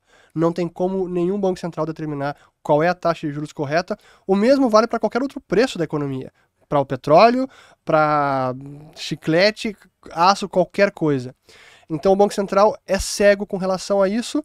Ele vai tateando na medida do possível, como o Bernanke sempre diz, learning by doing, é, aprendendo à medida que faz, aprendendo com o erro. Aos trancos e barrancos, o Banco Central vai operando. Primeira resposta. Segunda resposta, prática recente do nosso Banco Central, especialmente pós-pandemia. O que aconteceu? Com uma sinalização muito clara da Fazenda, governo Bolsonaro, equipe do Paulo Guedes, a partir de 2019, de controlar o fiscal, de fazer reformas estruturantes, passou a reforma da Previdência, o Paulo Guedes sinalizou lá para o Roberto Campos Neto, ó, vamos agora mudar o, o mix macro, ele sempre gostava de falar isso. Em vez de ser fiscal frouxo com monetário é, apertado, Vamos fazer fiscal apertado e monetário um pouquinho mais frouxo, vamos mudar esse mix. E foi o que ele fez. E por um tempo isso até é possível de ser feito, até pela sinalização de controle fiscal, a expectativa que gera nos agentes e a confiança que isso traz para mercados e agentes em geral. Aí veio o problema que o Banco Central, na minha avaliação, começou a exagerar um pouco nessa dose de redução de juros. A gente viu isso se manifestando ainda em 2019 que o nosso câmbio chegou em 4,25 em 2019. E o, Bolsonaro entrou com 13,80, eu acho, ou 13,70, alguma coisa assim. Então já havia uma desvalorização forte do câmbio. Aí veio pandemia, meteoro, todo mundo sabe, e o Banco Central foi lá e 2% de taxa de juros. 2% para a nossa economia, com os nossos riscos, com a nossa história, com o nosso fiscal, com a nossa instabilidade política, para mim foi uma tomada de risco brutal. Eu criticava todo santo dia, eu era até chato no Twitter, no Instagram e no YouTube, que eu batia muito nessa tecla. Acabou acontecendo, o nosso câmbio foi lá para 5, quase 6, oscilou um monte, mas enfim, gerou muita volatilidade e depreciação cambial. E eu dizia, não apenas eu, mas muitos analistas também, que esse erro ensejaria o erro seguinte, que seria o de apertar demais. Então, afrouxando demais com os juros, 2%, levaria o Banco Central a apertar demais os juros logo depois. E foi exatamente o que aconteceu. Então, eu diria que o Banco Central nosso errou ao afrouxar demais e estimular monetariamente, e hoje também acho que erra ao restringir demais e apertar muito os juros. Mesmo se a gente considerasse a inflação sem a desoneração, que em vez de 5,70 iria, sei lá, para 7 ou 7 alguma coisa, mesmo assim o nosso juro real ainda seria o maior do planeta. Então, é, sim, está tá muito alto. É, isso é, não, não é sustentável porque é um fardo enorme, isso emperra a atividade econômica, desincentiva a tomada de crédito. Então, é, é muito ruim. A gente pode dizer que, o, embora não saibamos qual é a taxa de juros exata, a gente pode dizer que nos extremos a coisa hum, também não dá. Então a gente pode aproximar e dizer que ah, 2% é demais para o Brasil. Ah, é 3,75 ou 4? Não sei, mas 2 não é. Mesma coisa agora para mim, 13,75%. Tá demais, tá exagerado. E é que essa é a segunda parte da resposta. E aí a terceira, que tem a ver com a prática do Banco Central, que também tem muito de arte e menos ciência. Uhum. Porque, beleza, vamos concordar que a taxa de juros nesse patamar está excessiva, restritiva demais. A inflação já está caindo, pô, o crédito caiu, tivemos superávit primário agora, precisa manter nesse patamar? Eu diria que não. Ok, como é que a gente reduz então agora? Simplesmente o governo, o Banco Central dizia agora, ah, quer saber, a gente acha realmente que a gente exagerou na dose, a gente vai começar a reduzir a taxa de juros, então na próxima reunião vamos reduzir em 1% a taxa de juros. Se ele fizesse isso, geraria um ruído tão grande no mercado e dissonância assim de, de comunicação prévia que poderia até ser contraproducente, fazendo o câmbio disparar ainda mais, gerando desconfiança, juros futuros dispararem. Então poderia ser um tiro no pé, por mais que fosse correto reduzir a taxa de juros. E é por isso que é tão difícil o atuar do Banco Central e que ele precisa ser muito habilidoso na comunicação e nas suas políticas também. É, é impressionante isso, a ideia de que tem uma pessoa que vai lá e vai falar: olha, nós, oito pessoas, doze pessoas, nos reunimos numa sala fechada. Uh, depois a gente libera as atas para vocês verem, mas a gente decidiu que o preço desse dinheiro vai ser tanto. Isso aí, não existe mais nenhuma decisão na nossa vida que é feita por oito pessoas numa sala fechada que a gente é obrigado a aceitar. É. Isso é ilógico, não é? É, é o, é o Politburo, é o, é, o comitê soviético exato. decidindo o preço mais importante da economia. Uhum. Que para mim o preço mais importante é a taxa de câmbio, o segundo seria a taxa de juros, especialmente quando a gente tem taxa de câmbio flutuante. Mas o mesmo vale para o Brasil, o mesmo vale para o Fed. Uhum. E é, é, realmente eu, eu, eu, tenho o mesmo sentimento e quando é, o mundo inteiro para, para. Semana ah. que vem, já está gravando hoje, é dia 24 de janeiro. Uhum. Semana que vem, dia 31, primeiro tem a reunião do FED, do Copom, e aí de tarde, dia 1 de janeiro, todo mundo para, os mercados param para aguardar a definição de taxa de juros do Fed. Todas as apostas, é 25 pontos base, é 50, é menos, e vai ser rock, não vai ser, qual é a vírgula, onde ela vai estar, antes ou depois de desemprego. Qual é a cor do terno qual que é eles usaram? Tudo. É, tudo. Não, é bizarro, porque é bizarro. tudo é analisado. Ah, ele tirou o óculos na hora, ele olhou para cima, olhou para o lado, qual foi a linguagem corporal tudo importa. E realmente é um grande teatro e ao mesmo tempo é surreal que a gente dependa desse uhum. sistema uhum. e que o mundo funcione com essa com esse regime monetário. É assim, é, é, é bizarro, mas é o sistema que nós temos. Na tua resposta, tu falaste uh, que foi combinado, não combinado, não foi esse verbo que tu utilizaste, mas havia um alinhamento entre o Banco Central e a, e a Fazenda para afrouxar de um lado e apertar do outro. Claro que nos havia. últimos dois anos. Né? Em, Agora em... não tem mais como combinar, aparentemente. Aparentemente eles não têm mais espaço de combinação. E vendo, fazendo uma teoria dos jogos aqui, né? Que cada prisioneiro está numa sala e eles não estão se comunicando. Acreditando nisso, talvez eles possam estar se comunicando, mas acreditando que eles não estejam se comunicando, e qual é a tua visão sobre isso? Qual é o arranjo fiscal que o, que o Lula e o Haddad irão fazer uh, para, esse, esses próximos dois anos, porque se eles fizerem o arranjo fiscal típico da esquerda, que é sempre gastar a rodo, e ele e tu mesmo tem falado muito no teu, no teu, no teu canal que eles não precisam ter um banco central porque eles têm bancos públicos muito fortes, banco né? estatal, que faz é bancos estatais muito muito muito fortes. Então eles estão botando grana na economia, aquém do aquém de banco central, via Banco do Brasil, BNDES, é, todas essas outras coisas. E provavelmente eles vão fazer um arranjo fiscal de gastança. Eles não serão saudáveis, eles, eles não vão ter superávit. Tu acha que eles vão nessa linha? Porque se for nessa linha, o, o, o, o nosso outro player do, da nossa teoria dos jogos aqui vai ter que agir de uma outra forma baseada assim. Né? Correto. Até é, eu às vezes discuto isso com o Leandro Roque, que é o editor do Mises Brasil, é, e eu concordo com ele. Ele diz o seguinte: é, embora sim o governo brasileiro tenha bancos estatais e muito relevantes, o Banco do Brasil controlado por ele, Caixa Econômica todo público, BNDES, o banco de fomento da, dos nossos hermanos agora, mais uma vez. uh, a verdade é que se o governo expande crédito via banco estatal, ainda assim o Banco Central deveria fazer o seu papel e talvez sobe os juros então para 15%. Ah, vai subir, vai dar dinheiro a rodo? Então tá, taxa Selic agora vai para 16%. Então o Banco Central ainda assim tem algum poder e deveria fazê-lo. Se vai fazer, são outros 500. Mas eu queria, antes de responder a pergunta também, voltar no, no ponto inicial, só para não. Não quero ser acusado de nenhuma leviandade. Uh, eu entendo que sim havia um alinhamento implícito entre Fazenda e Banco Central, por mais que fossem entidades separadas e independentes estou falando de Paulo Guedes e Roberto Campos Neto. Para mim havia sim esse alinhamento, mas nunca foi falado e não estou acusando que sim o Paulo Guedes dizia explicitamente oh, reduz os juros aí. Mas para mim havia esse alinhamento.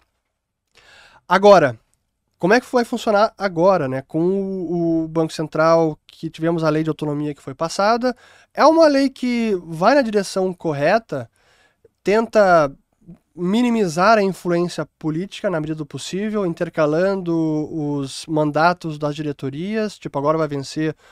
Já, a gente vai ter uma prévia do que pode ser a pressão política agora, porque vence o, o mandato do diretor de política monetária, que é o Bruno Serra, no final de fevereiro. Aí, quem é que vai substituir? Vai ter alguma pressão na Fazenda? Não vai? Já vai ter uma prévia, então, de o quão autônomo está o Banco Central neste momento. Mas, na prática, é claro que o Roberto Campos Neto e o Haddad, cada um tem o WhatsApp do outro, ou o Signal, ou o Telegram, vão trocar mensagens. Se o Lula não quiser mandar um WhatsApp direto do telefone dele, ele vai mandar um recado pelo Haddad e diz: ah, vamos, vamos começar a reduzir esses juros aí? Vai ter pressão, é claro que vai ter pressão. Seria ingênuo achar que não haveria nenhuma pressão. A pergunta é: será que Roberto Campos Neto vai ignorar essa pressão? Eu acho até que vai, mas ele fica até 24. Depois vem o próximo. Eu imagino que Lula indicaria o novo e Haddad também, porque Roberto Campos Neto é um homem de confiança do Paulo Guedes. Uhum. Não é do Haddad, não é do Lula. Então deve vir um novo banqueiro central. Aí o novo banqueiro central sofrerá influência política? Eu ouso dizer que sim. Surpreendente. Tá, mas o, a, o arranjo fiscal e o arranjo. Ah, sim, eu não respondi. Eu, do eu falei fiscal. tudo isso e não respondi a tua pergunta, né? Beleza, ah, pois então, o, o arranjo fiscal, a gente precisa ter mais previsibilidade, a gente precisa ter um real controle do gasto público e, não, e uma intenção de controlar o gasto público também. A mensagem é importante, a sinalização que ela acontece pela via política, pelas declarações, é, pelos tweets, isso tudo importa.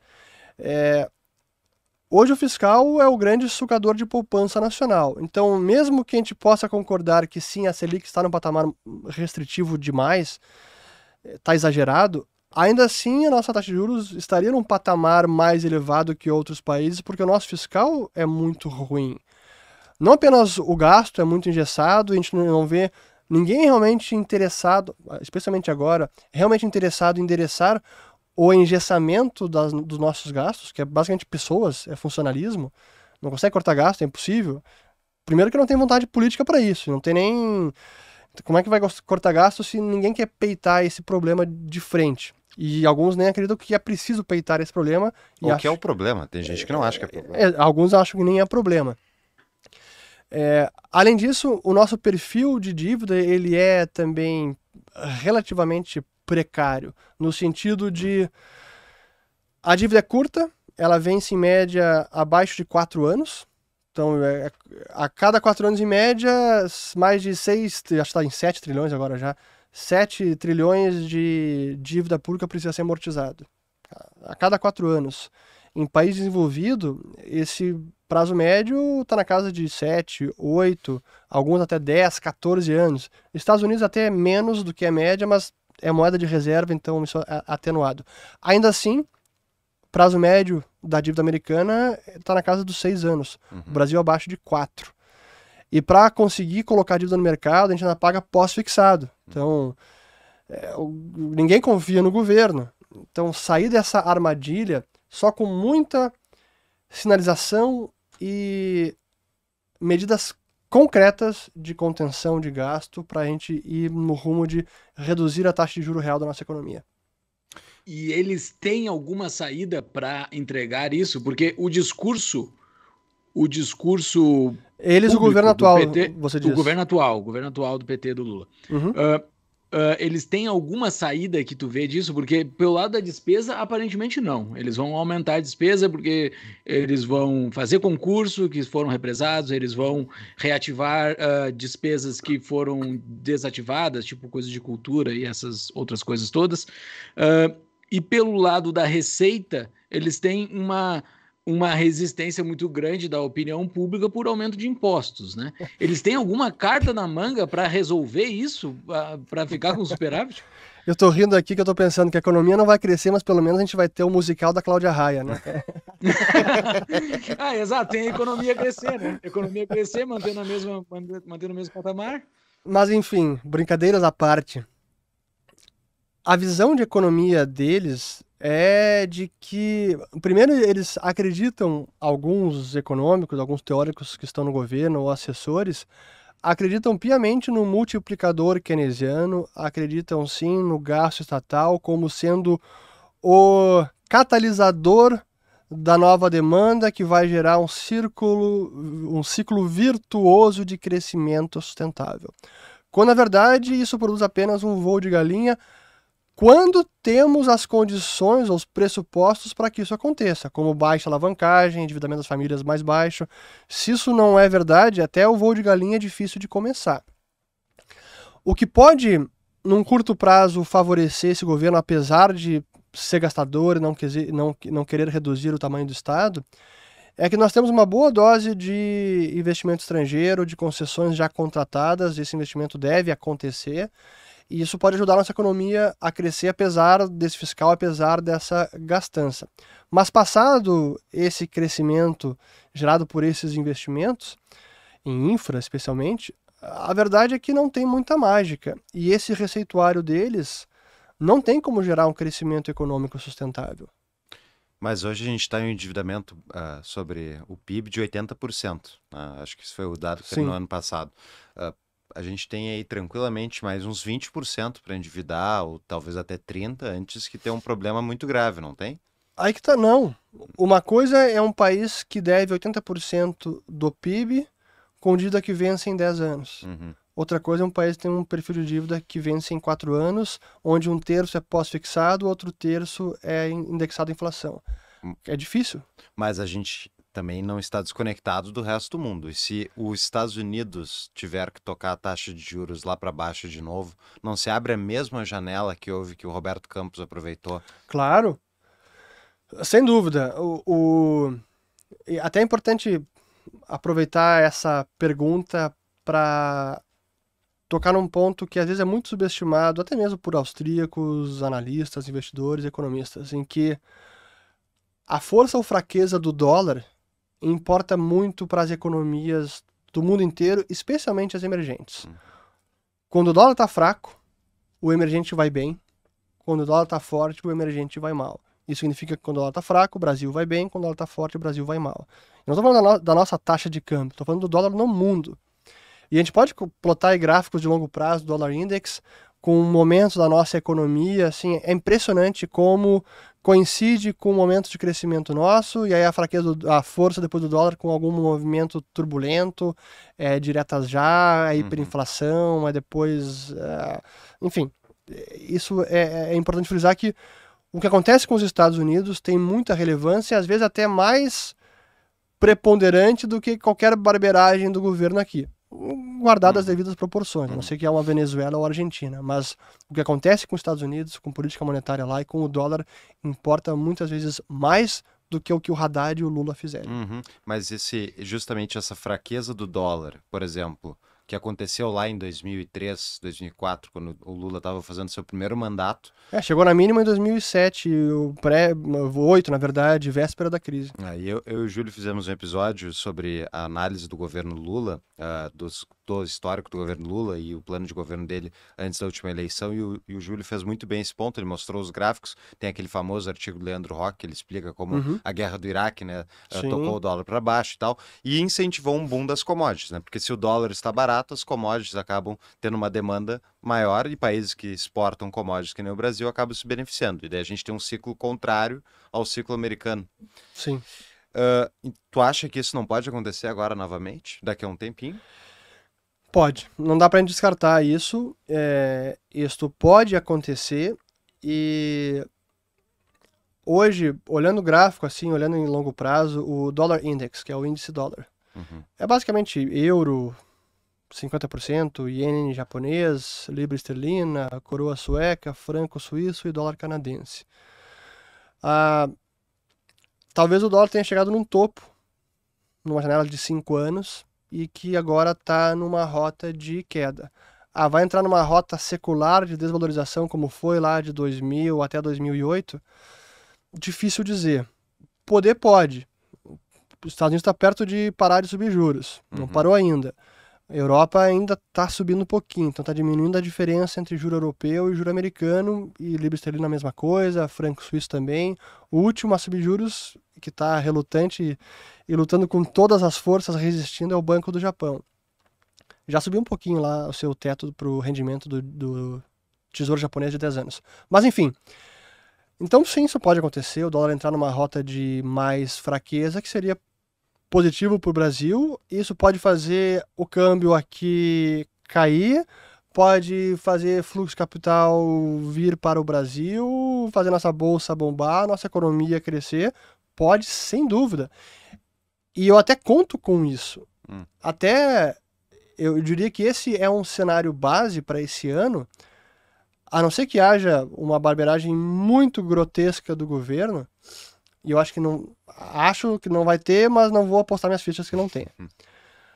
A não ser que isso aconteça, a gente pode ver realmente o dólar se desvalorizar aqui no Brasil. E para mim isso eu digo que é uma janela de oportunidade, porque eu prefiro ter investimentos dolarizados e quero ter cada vez mais, porque eu imagino que o Brasil, quatro anos para frente, não estará numa situação melhor que agora. Uhum, uhum. Talvez no primeiro, no próximo ano, nos próximos dois anos, ok.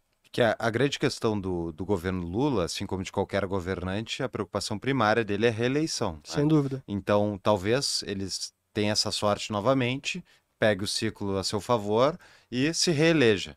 Então, eu, por exemplo, quando Lula foi eleito, as pessoas né, mandaram mensagens, coisas assim, ah, o que que faz? Eu começo a dolarizar o patrimônio. Eu não sei... Já tinha que ter começado. Já tinha que ter começado, mas tudo bem, todo mundo faz o seu tempo, mas no longo prazo, né, o dólar acaba uh, sempre subindo no Brasil. Então, a dúvida é, uh, eu mesmo falei, dolarize o patrimônio, daí o dólar caiu, pode cair mais, inclusive. Mas não é, um, não é de acreditar que o Brasil está melhorando de fato. É um correto. É uma, né, uma mudança externa e que as famílias aproveitem isso para justamente se proteger e se blindar um pouco do Estado brasileiro, né? Correto. Ah. Uma pausa para um rápido anúncio. Conheço o escritório de advocacia da Vogel de Souza Advogados Associados, responsável pela defesa de milhares de pessoas lesadas pelos planos econômicos brasileiros, entre eles o Plano Collor, que afetou poupadores e tomadores de crédito rural ao redor do Brasil. Conheça mais sobre o que houve no Plano Collor Cédula Rural em cédularural.com. Voltamos para o nosso episódio a questão do endividamento, a minha pergunta antes eu falei sobre o Brasil, mas tem um endividamento muito mais importante, meu ver, que é o endividamento americano e da claro. Europa e tal. E é, é, um castelo de cartas, porque se tu soma, tipo, todos esses países endividados, o quanto eles têm de dívida, a gente já citou isso nas outras entrevistas que a gente gravou contigo, é, é para mim parece sempre que é iminente que vai desabar esse negócio, mas não vai desabar tão fácil, eles vão empurrando isso, né, com o tempo. Mas tem um limite, eles não vão cons se conseguir uh, tocar o endividamento mundial ad eternum, subindo e só imprimindo moeda, porque se, se isso de fato eles conseguem fazer, então isso, a gente não está errado, Urris. Não é, não é fato então de que a política monetária funciona, de que endividamento público é bom, que eles conseguem manter a economia em crescimento a despeito do, da realidade? Vamos lá. É uma ótima pergunta. Sem dúvida que esse endividamento público especialmente nos países desenvolvidos, Estados Unidos, Europa, Japão, ele é insustentável. Assim, em algum momento, alguma austeridade fiscal precisará ser realizada. Ou é um, um calote oficial, vai ter o haircut aqui da dívida, ou vai ter que tocar mais inflação, e aí acaba com a, a dívida Nominalmente, em proporção ao PIB, ela acaba caindo por conta da inflação, mas é uma situação que eu considero insustentável. Entretanto, esse limite ele está sendo testado e eu diria que esse limite talvez seja muito mais distante no tempo do que os austríacos gostariam de admitir. Uhum, uhum. Porque muitos austríacos estão falando que desde 71, que em 72, 3 acabaria a economia mundial depois que o dólar perdeu o vínculo ao ouro. E cá estamos. Cá, a gente fez 50 anos em 2021. Uhum de um regime monetário de papel moeda inconversível, onde a palavra que impera é a discricionariedade. Isso significa que os bancos centrais podem fazer o que quiser, hum. salvo uma hiperinflação que eu não vejo acontecendo. E essa postura do Fed agora, que está surpreendendo muita gente, inclusive a mim, hum. eu não previa esse aumento de juros pelo Fed, está demonstrando que o Fed na prática ele sim se preocupa com o dólar. Não no sentido de, ah, eu quero que o dólar seja a moeda mais forte do mundo e que ninguém tenha inflação, não. Mas ele também não quer o oposto, que o, que o dólar perca todo o seu valor, que hiperinflacione, que acabe a confiança do dólar e haja um colapso na moeda, na demanda pela moeda americana. Ele também não quer isso. Então, agora ele está defendendo a moeda americana. Nesse patamar de juros que ele que ele está levando, é impressionante. Eu não previa, até tentando me eximir da culpa de erro de previsão, mas não me eximindo, um dos motivos que eu não previa é que eu não imaginei que a gente ia ter esse nível de inflação, ou melhor, eu não imaginei que eles fossem pisar tão fundo no acelerador de impressão de dinheiro e cheque de estímulo como eles fizeram na pandemia. E do pós-pandemia, né? E basta ver que em 2022, começo do ano, o Fed ainda estava imprimindo hum. dinheiro. 2022. Logo depois começou a subir juros. Então eu não imaginava esse, essa confluência de fatores e não imaginava que o Fed fosse ser, ser tão duro e subindo os juros. Tem muita gente apostando que o Fed logo vai pivotar e começar a reduzir os juros. Eu não estou tão certo quanto a isso. Assim, se fosse a inflação que tínhamos 3, 4 anos atrás, de 2%, até diria que sim, mas nesse nível de inflação, eu entendo que na visão do Fed, o risco de perder o controle, o risco de uma inflação muito maior, o risco do dólar perder perder valor a ponto de arriscar uma perda de confiança da moeda, para o Fed hoje esse risco é maior do que risco de recessão, risco fiscal, risco de prejuízo contábil no Fed, risco de quebradeira de fundos e tudo mais. Então, por isso que o Fed mudou de postura. Sim, eu também achei surpreendente assim a aceleração, do, a forma acelerada como eles fizeram a subida das taxas de juros, né? fizeram subidas bem íngremes, mas queira ou não, eles injetaram muito dinheiro, claro. muito dinheiro na pandemia. E mesmo que tenha acontecido um fenômeno parecido como foi de 2008, de ficar empossado, de certa maneira, no sistema financeiro, valorizando ativos, uh, esse dinheiro, tu acha que não vai nunca encostar na economia real? Não, nesse caso, 2020 e 2021 encostou. Não, é que teve dois efeitos. Né? Um foi o cheque direto para a população, Sim. que gasto fiscal, né? E o outro foi a política monetária. Sim. Né? Isso, a minha dúvida é a política monetária, onde que foi a principal expansão uh, né, que eles fizeram. Essa política monetária não vai encostar na economia real ou vai ficar só na precificação dos ativos? Ela fica mais na precificação dos ativos. Claro que ela, ela acaba influenciando a economia real na medida que os bancos vão emprestando mais dinheiro. E, e curiosamente, quando a gente analisa hoje o crédito bancário nos Estados Unidos, ele está crescendo. Está hum. crescendo bem. Mas esse efeito do aumento do crédito bancário está sendo mais do que compensado pela redução em outras linhas bancárias, como a própria próprio financiamento da dívida pública ou até de hipotecas. Então, no net, no líquido, agregado monetário M2 está contraindo. Hum. Fechou em novembro com contração. Uhum. Isso não acontecia, talvez, nem da, desde a Grande Depressão. Caiu o agregado, agregado monetário.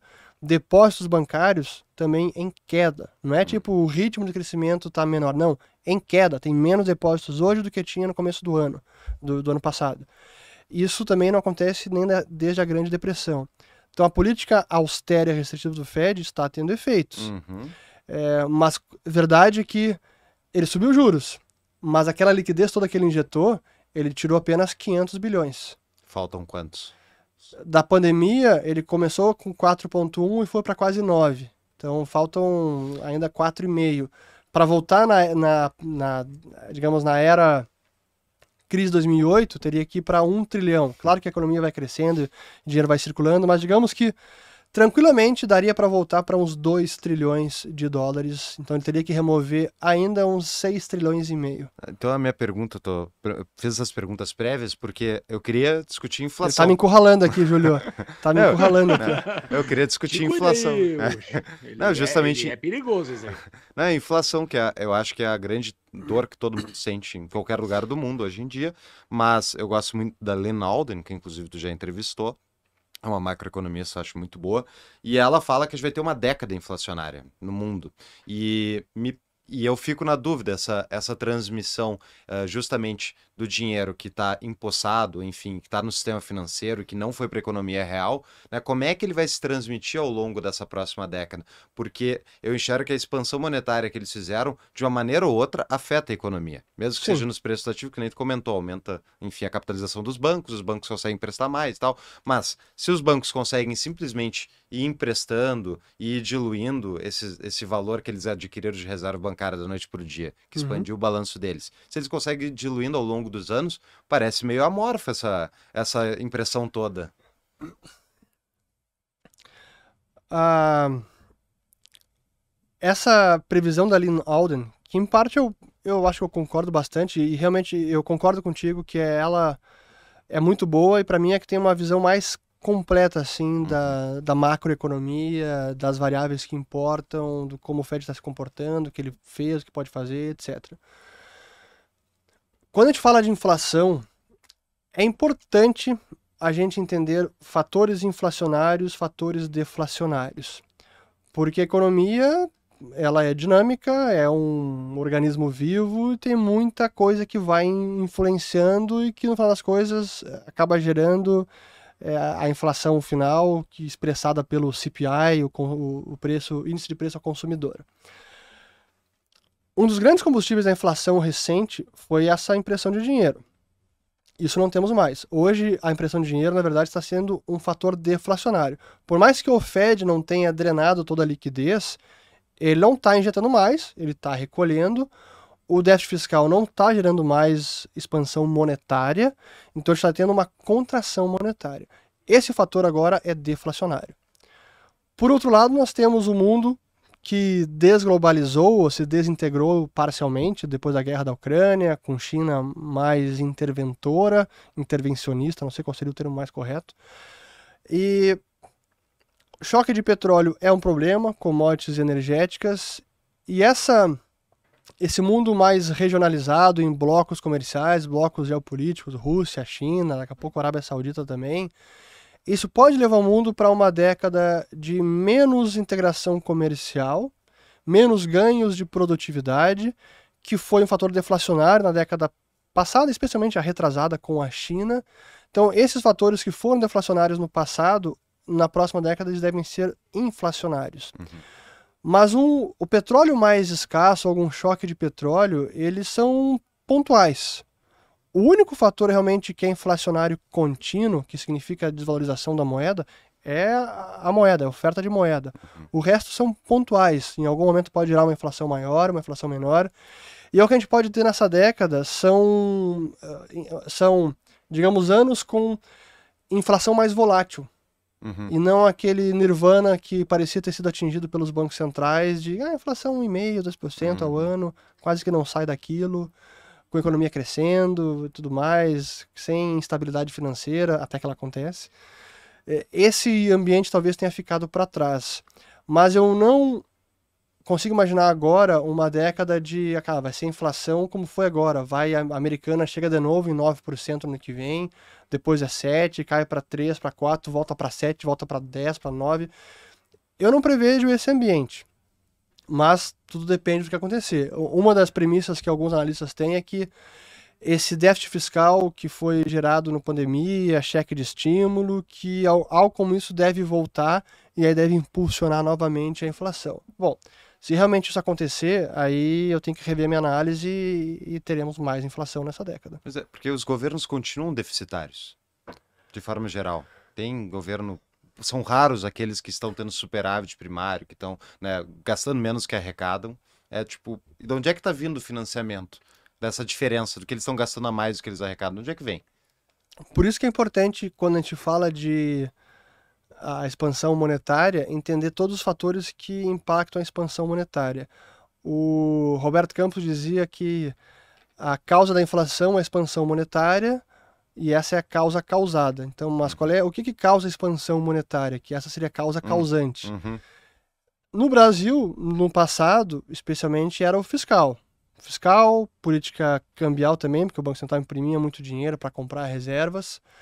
E esses eram os principais causadores da expansão monetária. Hoje que a gente tem isso muito mais controlado, o que causa expansão monetária é o crédito bancário, em larga medida, e déficit fiscal também. Esses são os dois grandes fatores.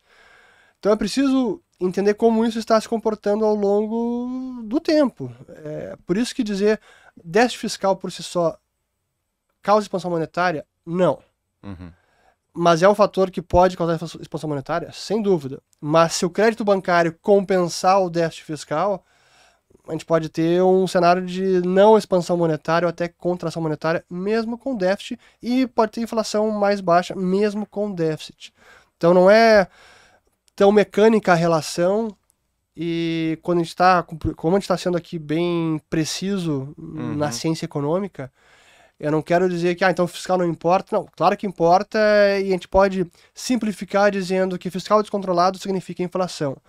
Mas no frigir dos ovos, na análise minuciosa dos, das variáveis econômicas, não é tão simples assim a relação mecânica. É multifatorial, né? Sem dúvida. E, e tem critérios que vão afetar mais do que outros, né?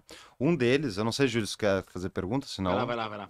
Um deles que até foi entrevistando o Heraldo, o colega aí de Liberta, a gente fez uma entrevista com ele recentemente. Grande Heraldo. É, e ele, a gente estava discutindo o endividamento público americano, que eu acho que está 110% do PIB, se não me engano. Chegou até mais, 120. 120. E, e eu estava comentando, tipo, da história, enfim, que a gente conhece, né? Uh, só teve um país que sobreviveu a um endividamento acima de 110% sem dar um, nenhum calote brando, que foi o Japão mesmo os Estados Unidos, né? Não sei, eu não sei se no passado ele chegou a bater está isso. Está sobrevivendo, né? Está sobrevivendo, exatamente. Está no estado de sobrevivência. Mas a questão é, Uh, eu falei, olha, mas ele chega um ponto que tu tem um endividamento tão alto que para rolar essa dívida que tu estava comentando antes dos prazos e tal, tu pode entrar numa, tu vai entrar numa espiral de dívida, né? Onde tu tá tomando dívida mais cara e simplesmente rolar a dívida acrescenta com o teu endividamento e tu já não tá, enfim, fazendo superávit, então entra uma, vira uma bola de neve. E ele me respondeu uma, uma coisa que eu não tinha pensado, e faz muito sentido, que é a questão do aumento da produtividade que pode acontecer. Né? E eu fico pensando assim, será que o chat GPT vai resolver o problema do endividamento americano ao fazer uma expansão da produtividade global? É possível. Boa, excelente pergunta. Até porque hoje, coincidentemente, eu gravei um vídeo sobre produtividade e a produtividade do Brasil, que está estagnada, é baixa e está estagnada, em alguns setores até caindo. na última década e vem estagnada em décadas. E para quem está assistindo isso aqui depois, já vai ter assistido esse vídeo. Mas sem dúvida que como é que uma dívida pode ser repaga? Então, do ponto de vista do governo, ou ele vai ter que praticar uma austeridade fiscal real, cara, vai ter que cortar gasto e poupar para conseguir usar da arrecadação excedente, gerar um superávit nominal, não apenas primário, para repagar a dívida e diminuir o seu endividamento. Então, é possível? Sem dúvida. Politicamente possível? É. é de, muito difícil? Muito. Às vezes quase impossível. Mas é possível. A outra forma é por ganho de produtividade. Se a economia passa a crescer porque houve um salto de produtividade, por alguma disrupção tecnológica, é claro que o crescimento econômico vai se traduzir em maior arrecadação tributária também e pode o crescimento promover um, uma queda do déficit por consequência do endividamento. Pode acontecer, sem dúvida, ah, mas não tem como contar com isso e apostar que isso vai acontecer. O Chat GPT, né, que é baseado em inteligência artificial, a própria inteligência artificial no sentido amplo, uhum. será que ela pode produzir esses saltos exponenciais de produtividade? Eu diria que pode, mas ainda é difícil contar com isso, até porque a inteligência artificial é muito pouco entendida. Eu mesmo não sou especialista nesse assunto, é, tenho muito mais dúvidas do que respostas, mas é uma via possível, mas eu diria que é contar com um acaso. Uhum. É, uma das. É, até seria legal só o aspecto econômico de tu explicar para a audiência, uma, é uma, coisa que muita gente tem dúvida, inclusive gente que é do mercado e tal. Né? Mas, ah, esses, essa inteligência artificial não vai tirar o emprego de todo mundo? No curto prazo, vai tirar emprego de algumas pessoas, serão realocadas, precisarão encontrar outra utilidade no mercado de trabalho, não tem dúvida alguma. É, negar essa, esse efeito negativo de curtíssimo prazo seria um equívoco da minha parte. Mas assim funciona a economia, assim funciona a tecnologia, o avanço tecnológico é assim. E foi para qualquer tecnologia que surgiu, isso aconteceu. Talvez hoje isso aconteça com mais rapidez, é possível, difícil mensurar, mas é possível. Mas a verdade é que a inteligência artificial ela vai poupar trabalho de muita gente também. Então, hoje, por exemplo, a minha. Vamos, vamos ilustrar a atividade profissional do Fernando. Eu sou pesquisador, eu sou analista econômico, eu pesquiso, eu estudo, eu faço roteiro de vídeos, eu preciso gravar vídeos, eu preciso editar, preciso subir no YouTube. Estou resumindo uma parte da minha vida profissional. Será que a inteligência artificial não pode abreviar parte dessa minha atividade? Talvez possa abreviar bastante. Uhum. O roteiro de vídeos, já vi já youtubers usando o chat GPT para fazer o roteiro de vídeos. Uhum. Daqui a pouco vocês, uhum. próximo testem isso, próximo convidado, façam as perguntas pelo chat GPT. Uhum. O chat, aqui sugere as perguntas para esse convidado que esse é o tema.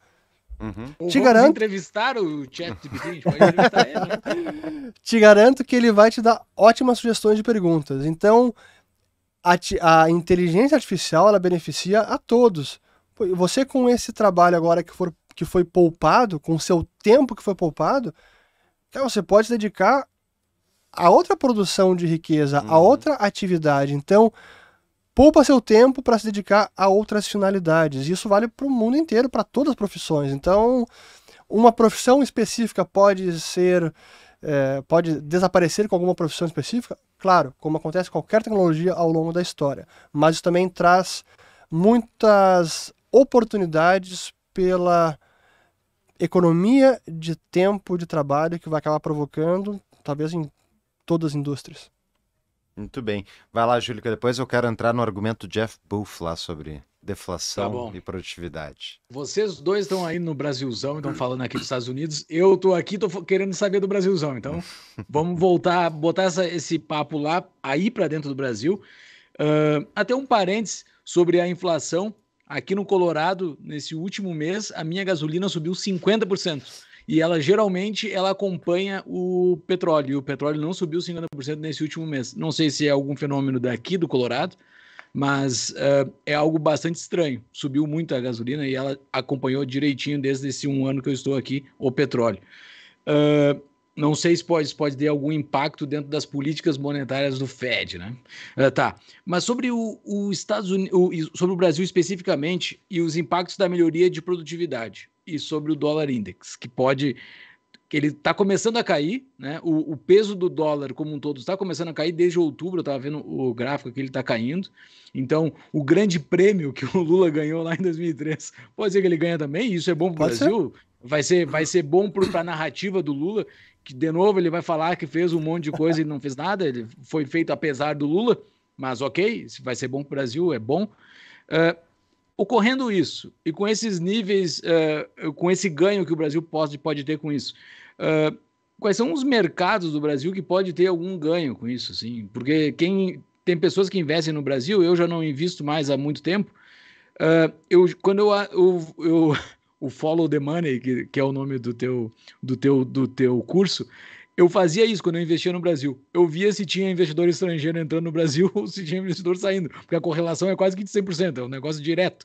Eles é que mandam na, nas ações brasileiras. Mas existem algumas, alguns setores específicos que têm um destaque diferenciado dentro do Brasil. Caso o Brasil dê essa surfada, quais são os setores do Brasil assim que tu vê que são diferenciados? Eu vou parafrasear a CNN aqui, falar do kit Lula do mercado. Assim que o Lula ganhou as eleições, no dia seguinte o mercado até abriu em alta, dólar caindo, e eles trouxeram lá o kit Lula, várias, várias ações que estavam subindo por causa da eleição. Primeiro, usando como pano de fundo esse cenário macro favorável para o Brasil, o dólar em queda, isso significa que o Brasil como um todo se beneficia, então todos os setores podem se beneficiar. Olhando as ações brasileiras, via de regra, elas estão bem descontadas tanto historicamente quanto em relação a, a pares, outros emergentes e mercado desenvolvido. Mas claro que alguns setores podem se beneficiar mais do que outros. Hoje é um consenso de que o setor de educação com o governo Lula vai ser um beneficiado, pelo que ele já fez no passado, com FIES, é, ProUni, sei lá que outros, outras políticas de fomento aí a, a, ao setor da educação, pode acontecer, sem dúvida. A China também importa bastante para o país. A gente fala muito sobre o dólar, e claro que para o mundo inteiro o dólar importa, fraco ou forte, mas o que acontece na China também importa. E hoje a China está num momento é, delicado de ajuste de modelo econômico, o partido agora está querendo reestimular, é, reaquecer o setor imobiliário, que foi o grande motor do crescimento chinês nas últimas duas décadas, e do qual o Brasil se beneficiou bastante então, o Brasil pode se beneficiar novamente do, se a China conseguir enriquecer sua economia? Pode. Se o dólar for fraco, o Brasil se beneficia? Também se beneficia. Mas eu diria que o Brasil como um todo se beneficia desses fatores e Lula, em específico, o seu governo, talvez alguns setores como é, educação pode ser um. E talvez outros podem não se beneficiar. Será que o agro pode ser um prejudicado? É possível. Até o agro acaba, parece que é o, o setor que está batendo de frente aí com o governo, né? Uhum. O a questão da produtividade, eu perguntei, porque eu não sei se tu conhece o livro do Jeff Booth, Preço do Amanhã. Sim, nunca li, tá na minha lista. Recomendo, recomendo a todos, é maravilhoso. E a, o grande, a grande tese do livro do Jeff Booth é que ele é um venture capitalist canadense enfim, o cara já tem uns 55 anos, fez muitos investimentos, liderou startups e tal. E ele, ele escreveu um livro que, ao meu ver, muitos economistas deveriam ter escrito e não escreveram porque tem uma, um erro crônico dentro das faculdades de, de economia. E o argumento dele é o seguinte: o capitalismo é deflacionário por natureza, né? ele gera um excedente de bens. A gente uhum. produz uhum. mais do que consome, de forma geral, no sistema produtivo, que nem o capitalismo é. E o sistema monetário ele é inflacionário por natureza. Porque se eles, se não houver inflação, não há dinheiro naquela entrando na parte técnica lá, nem, não precisa entrar de novo, mas a parte das reservas bancárias e tudo, quando os bancos emprestam dinheiro, né, e é pago de volta o empréstimo, tem que ser pago o empréstimo principal mais a taxa de juros. Posso só fazer uma claro, vírgula? Que é o sistema monetário estatal Exato. que é inflacionário. Exatamente. Então, é necessária a inflação para o sistema monetário, que é gerido pelo Estado, funcionar. Então, esses dois sistemas são contraditórios. inclusive os argumentos dele lembram muito a análise dos austríacos, acho que casam muito bem. E o ponto dele é com a inteligência artificial e o ganho de produtividade que ela vai gerar, a diferença desses dois sistemas vai ficar cada vez mais gritante. Porque historicamente o que aconteceu foi que os ganhos de produtividade da internet, da lei de Moore e tudo mais, que deveria ter gerado uma deflação de preços significativas, significativa, foi tapeado pelo aumento da expansão da base monetária, o aumento do, uhum. enfim, do, do sistema financeiro estatal. Então, esses dois temas, tu concorda? São contraditórios? Eles vão gerar crises automaticamente, a, a, a enfim, o, o, balanceamento entre os dois? Um que está sempre tentando reduzir preço e o outro que precisa que os preços fiquem subindo? o grande problema desse sistema monetário estatal é que a sua fundação intelectual é baseada na inflação como pré-condição para o crescimento econômico.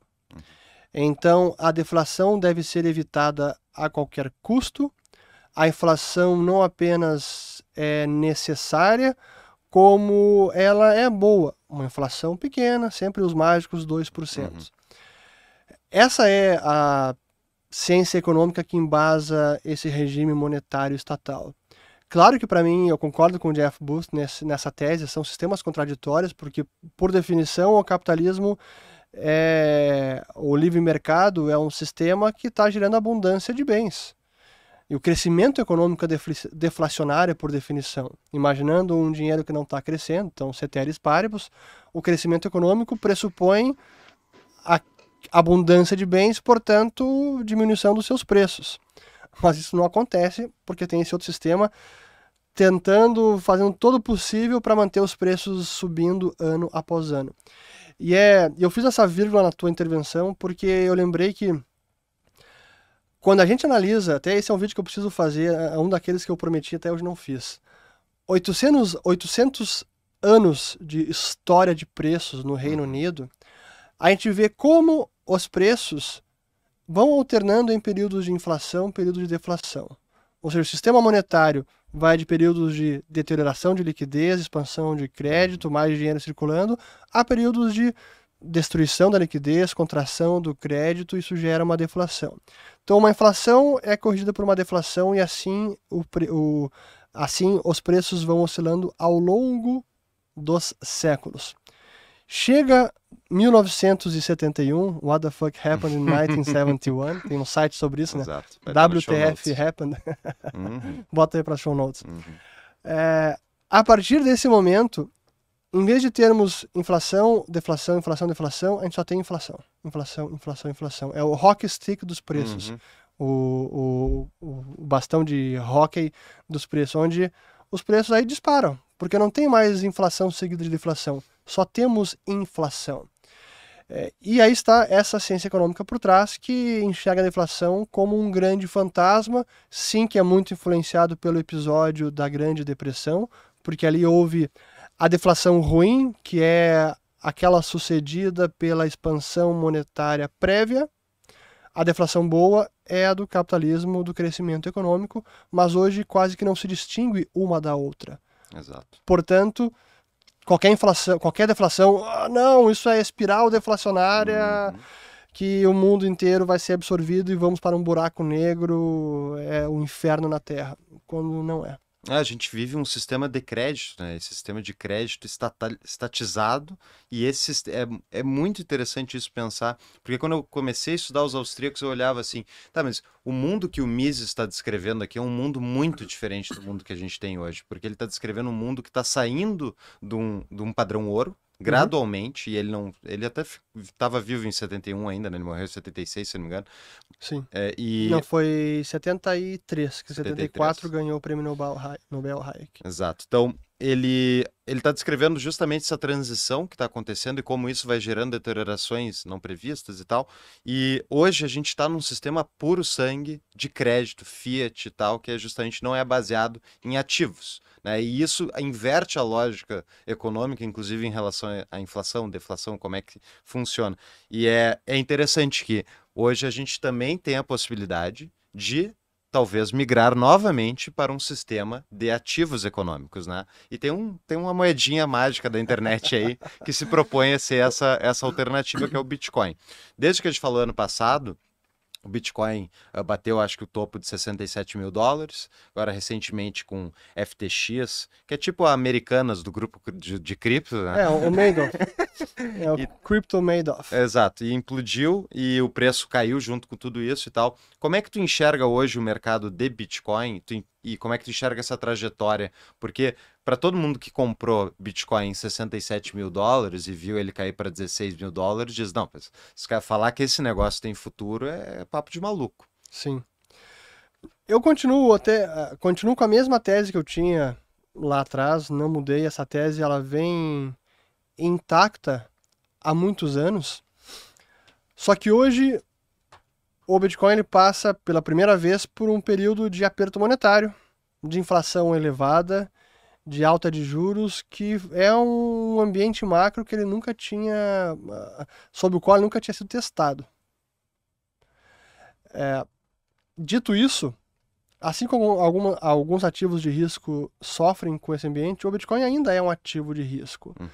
É, e a verdade é que ele ainda precisa ser muito testado. Eu sei que eu estou me repetindo aqui, quem assistiu entrevistas minhas, talvez até na nossa passada eu falei a mesma coisa, mas eu reitero a mesma mensagem. Ele ainda precisa ser testado. Um ano de vida, ou 14 anos, que agora é o que ele tem desde 2009, é nada, especialmente para um ativo que se propõe a ser uma alternativa à moeda estatal é muito pouco tempo. Uhum. Então, é preciso dar tempo ao tempo, ele precisa ser mais testado. E isso não vai acontecer em apenas uma década e meia. Mas se ele é verdadeiramente escasso, que nem. Acho que tu, tu concorda que ele é verdadeiramente escasso? Claro. É, eu, eu, também. Então, se ele é verdadeiramente escasso, não é uma questão de tempo até toda a população do mundo entender isso e ele virar, funcionar como um buraco negro dentro do sistema Fiat? Hyper-Bitcoinization. É, lenta e gradualmente até o dia que acontece. Suddenly, é, é, gradually, gradually then suddenly. suddenly. Pois então. É difícil saber como essas coisas acontecem, fazer uma afirmação assim até pressupõe quase que o desmoronamento das moedas fiduciárias. Uhum. Uh, Ou a ancoragem delas, né? No Bitcoin? É. Também é possível. Assim, a diversificação de reservas, eu acho que eu entendo que a adoção e a confiança ela vai acontecendo por, por diversas vias, tanto pelo, pelo indivíduo privado, como investimento, como proteção patrimonial, para independência financeira, para transferências internacionais. Daqui a pouco, por bancos centrais, como diversificação de reservas, como já acontece com ouro, como sistema de pagamentos neutro, que não sofre influência política de ninguém essas adoções elas vão acontecendo em paralelo. Mas é difícil fazer essa previsão de, do tipo vai acontecer algo subitamente e todo mundo vai se dar conta, opa, não dá mais para confiar nesse negócio de moeda fiduciária, o Bitcoin vai ser, vai sugar toda a liquidez mundial e vai uhum. valorizar. E, e mais, eu diria que os eventos de 2022 com esse ciclo de aperto monetário do Fed, eu acho que é um uma, um sinal importante para mostrar até para os bitcoiners que os bancos centrais não vão uh, simplesmente baixar a guarda e assumir admitir a derrota. Uhum. Uh, não, eles vão seguir lutando e subir juros é uma forma de defender o valor da moeda, como eu disse anteriormente. Então não é tão simples. É, eu lembro que tempos atrás me perguntaram o que precisaria acontecer para o Bitcoin fracassar. E eu dei uma resposta dupla. Eu dizia que por um lado, os bancos centrais precisariam finalmente adotar uma postura austera de subjuros e dizer, olha, a gente quer preservar o valor das nossas moedas, a gente não quer destruir elas.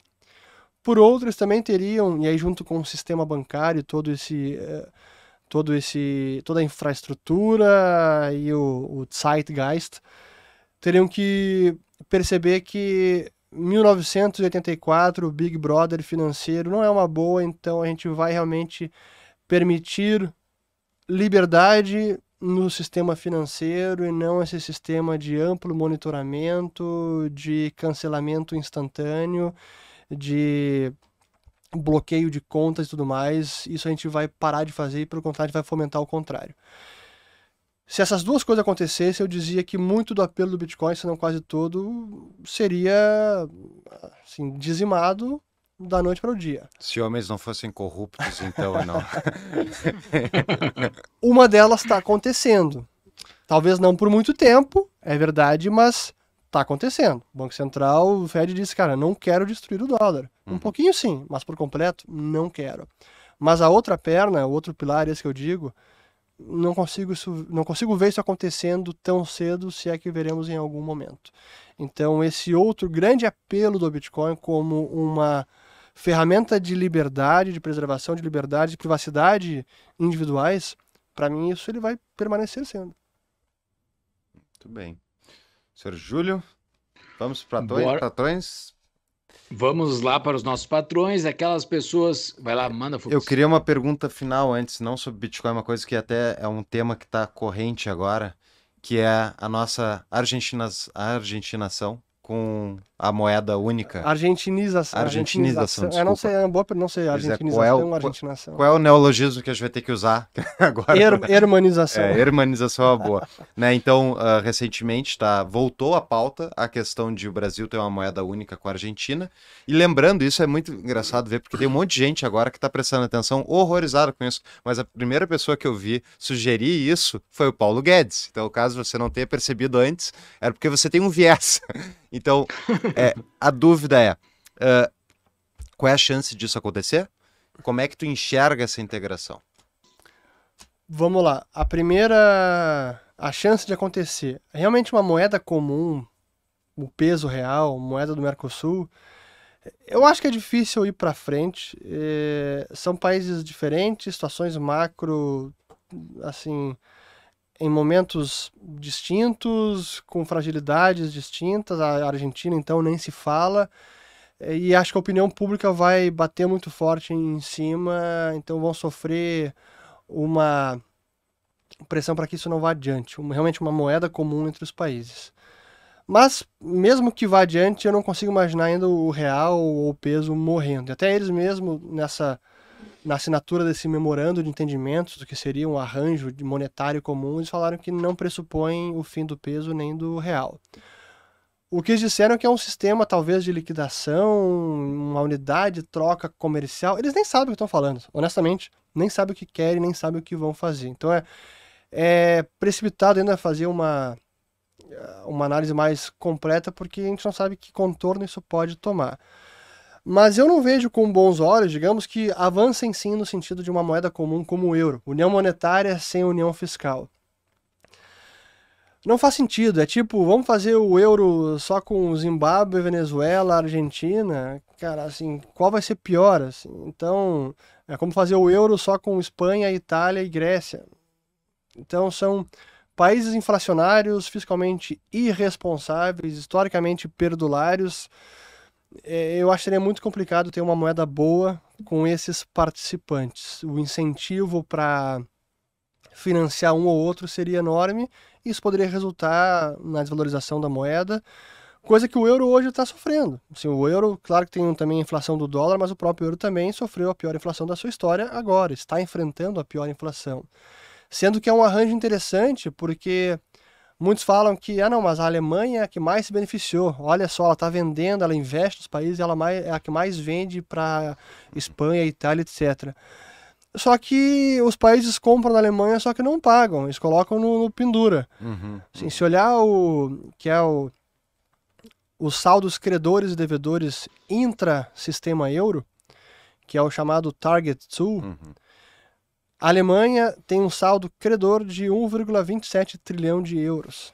Isso começou a crescer, começou a se avolumar depois da crise dos PIGs em 2011, Portugal, Espanha, Irlanda, Itália e Grécia, crise de dívida soberana do euro.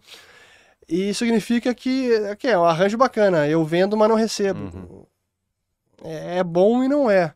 Eu acho que isso poderia acontecer com o Brasil também, Brasil e Argentina. Então eu não vejo com bons olhos e eu digo sempre de forma jocosa e séria que se é para adotar uma moeda única, vamos adotar o dólar. Já está uhum. aí pronto. Já é uma moeda utilizada, já é referência desses países, ainda mais na Argentina.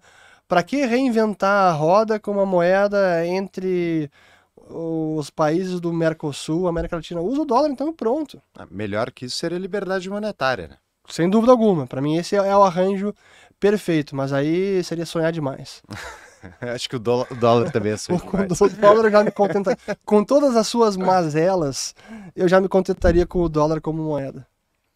Uma da, um, dos, um dos boatos que dizem é que isso é só uma história para os eleitores argentinos acreditarem que isso vai acontecer para subir um pouco da moral lá do, do Alberto, né? É, é sem dúvida vai acontecer, eles estão só fazendo um cenário só para ele ficar bem claro, nas próximas eleições. Acho né? que tem um pouco de desvio de foco, né, distração da opinião pública, não tem dúvida que tem esse componente especialmente com relação à Argentina, que vem muito mal, por, por, por mais que o Lula tenha dito que a Argentina vive uma situação privilegiada economicamente. é, sem dúvida que é uma ajuda a um grande aliado político e ideológico na região, no continente, do Lula. Sim. Uma pausa para um rápido anúncio. Está em dúvida de onde investir o seu dinheiro? Conheça a Propósito Capital, empresa com expertise em soluções financeiras e investimentos para famílias e empresas. A Propósito Capital é escritório de investimento parceiro do BTG Pactual, maior banco de investimento da América Latina. Eu fiz uma breve entrevista com um dos fundadores, então caso você queira saber mais, acesse tapadamãoinvisível.com.br barra propósito. A propósito, Capital cuida do que é seu e do que ainda vai ser. Voltamos ao episódio. Nós temos os nossos patrões que pagam um pouquinho a mais lá para estarem na nossa comunidade uh, e podem fazer perguntas para os nossos convidados. Nós temos uma pergunta aqui que tem muito a ver com a minha situação, inclusive que estou morando fora do Brasil. O Kozer pergunta: Urge, Racionalmente, você vê algum motivo para alguém que tenha condições de emigrar, permanecer e insistir no Brasil? Muitas pessoas ficam aqui por motivos emocionais e familiares. Tirando isso, você vê futuro economicamente no Brasil frente a outros países desenvolvidos? Não.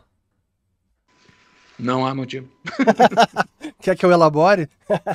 não, não. Vamos lá. Se, quiser ah, elaborar, melhor. Eu sou um cara muito realista. Alguns interpretam como pessimismo. Eu prefiro dizer que o, o pessimismo ou otimista é, um, é o realista mal informado. então eu prefiro ser realista e trabalhar com a nossa realidade. Assim, imaginar que o Brasil vai conseguir se tornar um país de primeiro mundo, reduzir bruscamente a criminalidade, ser um país próspero, rico, pacífico. Eh, em, que janela de tempo? Em 10 anos? Em 20 anos? Talvez em 50? Eu acho que na minha vida eu não verei isso. Eu tô com 42. Eu não acho que eu vou ver isso. Talvez nem o meu filho veja isso. Porque os problemas do Brasil, para serem solucionados, primeiro a gente precisa do diagnóstico. Assim, a gente tem uma, um grande debate sobre o diagnóstico do problema. Até hoje não, não, tem, não tem um consenso sobre diagnóstico. Por exemplo, a produtividade é um dos poucos consensos, mas como resolver a produtividade, quase ninguém eh, entra em consenso.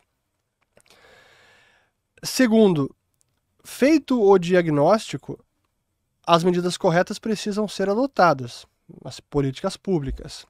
Muitas das políticas públicas que precisam ser adotadas, para surtirem efeitos, elas levariam gerações para a gente ver os primeiros resultados como a educação. O Lula, que governou durante oito anos, depois Dilma mais oito praticamente, Temer foi dois, agora Lula novamente. A gente poderia ter melhorado a nossa educação e transformado a educação. Mas a gente conseguiu elevar o nível de alfabetizados, mas com um nível de o que a gente chama que é o, o analfabetismo funcional, porque sabem ler muito pouco, não sabem interpretar texto, noções de matemática são rudimentares, se não inexistentes.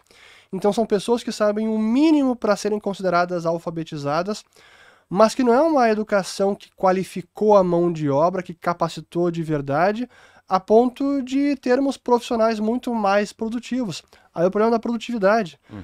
Produtividade você resolve tanto com educação, tornando o profissional muito mais qualificado, então ele consegue produzir mais com o mesmo maquinário, e também com bem de capital, com equipamentos melhores, mais uh, poderosos, com infraestrutura melhor, mais eficiente.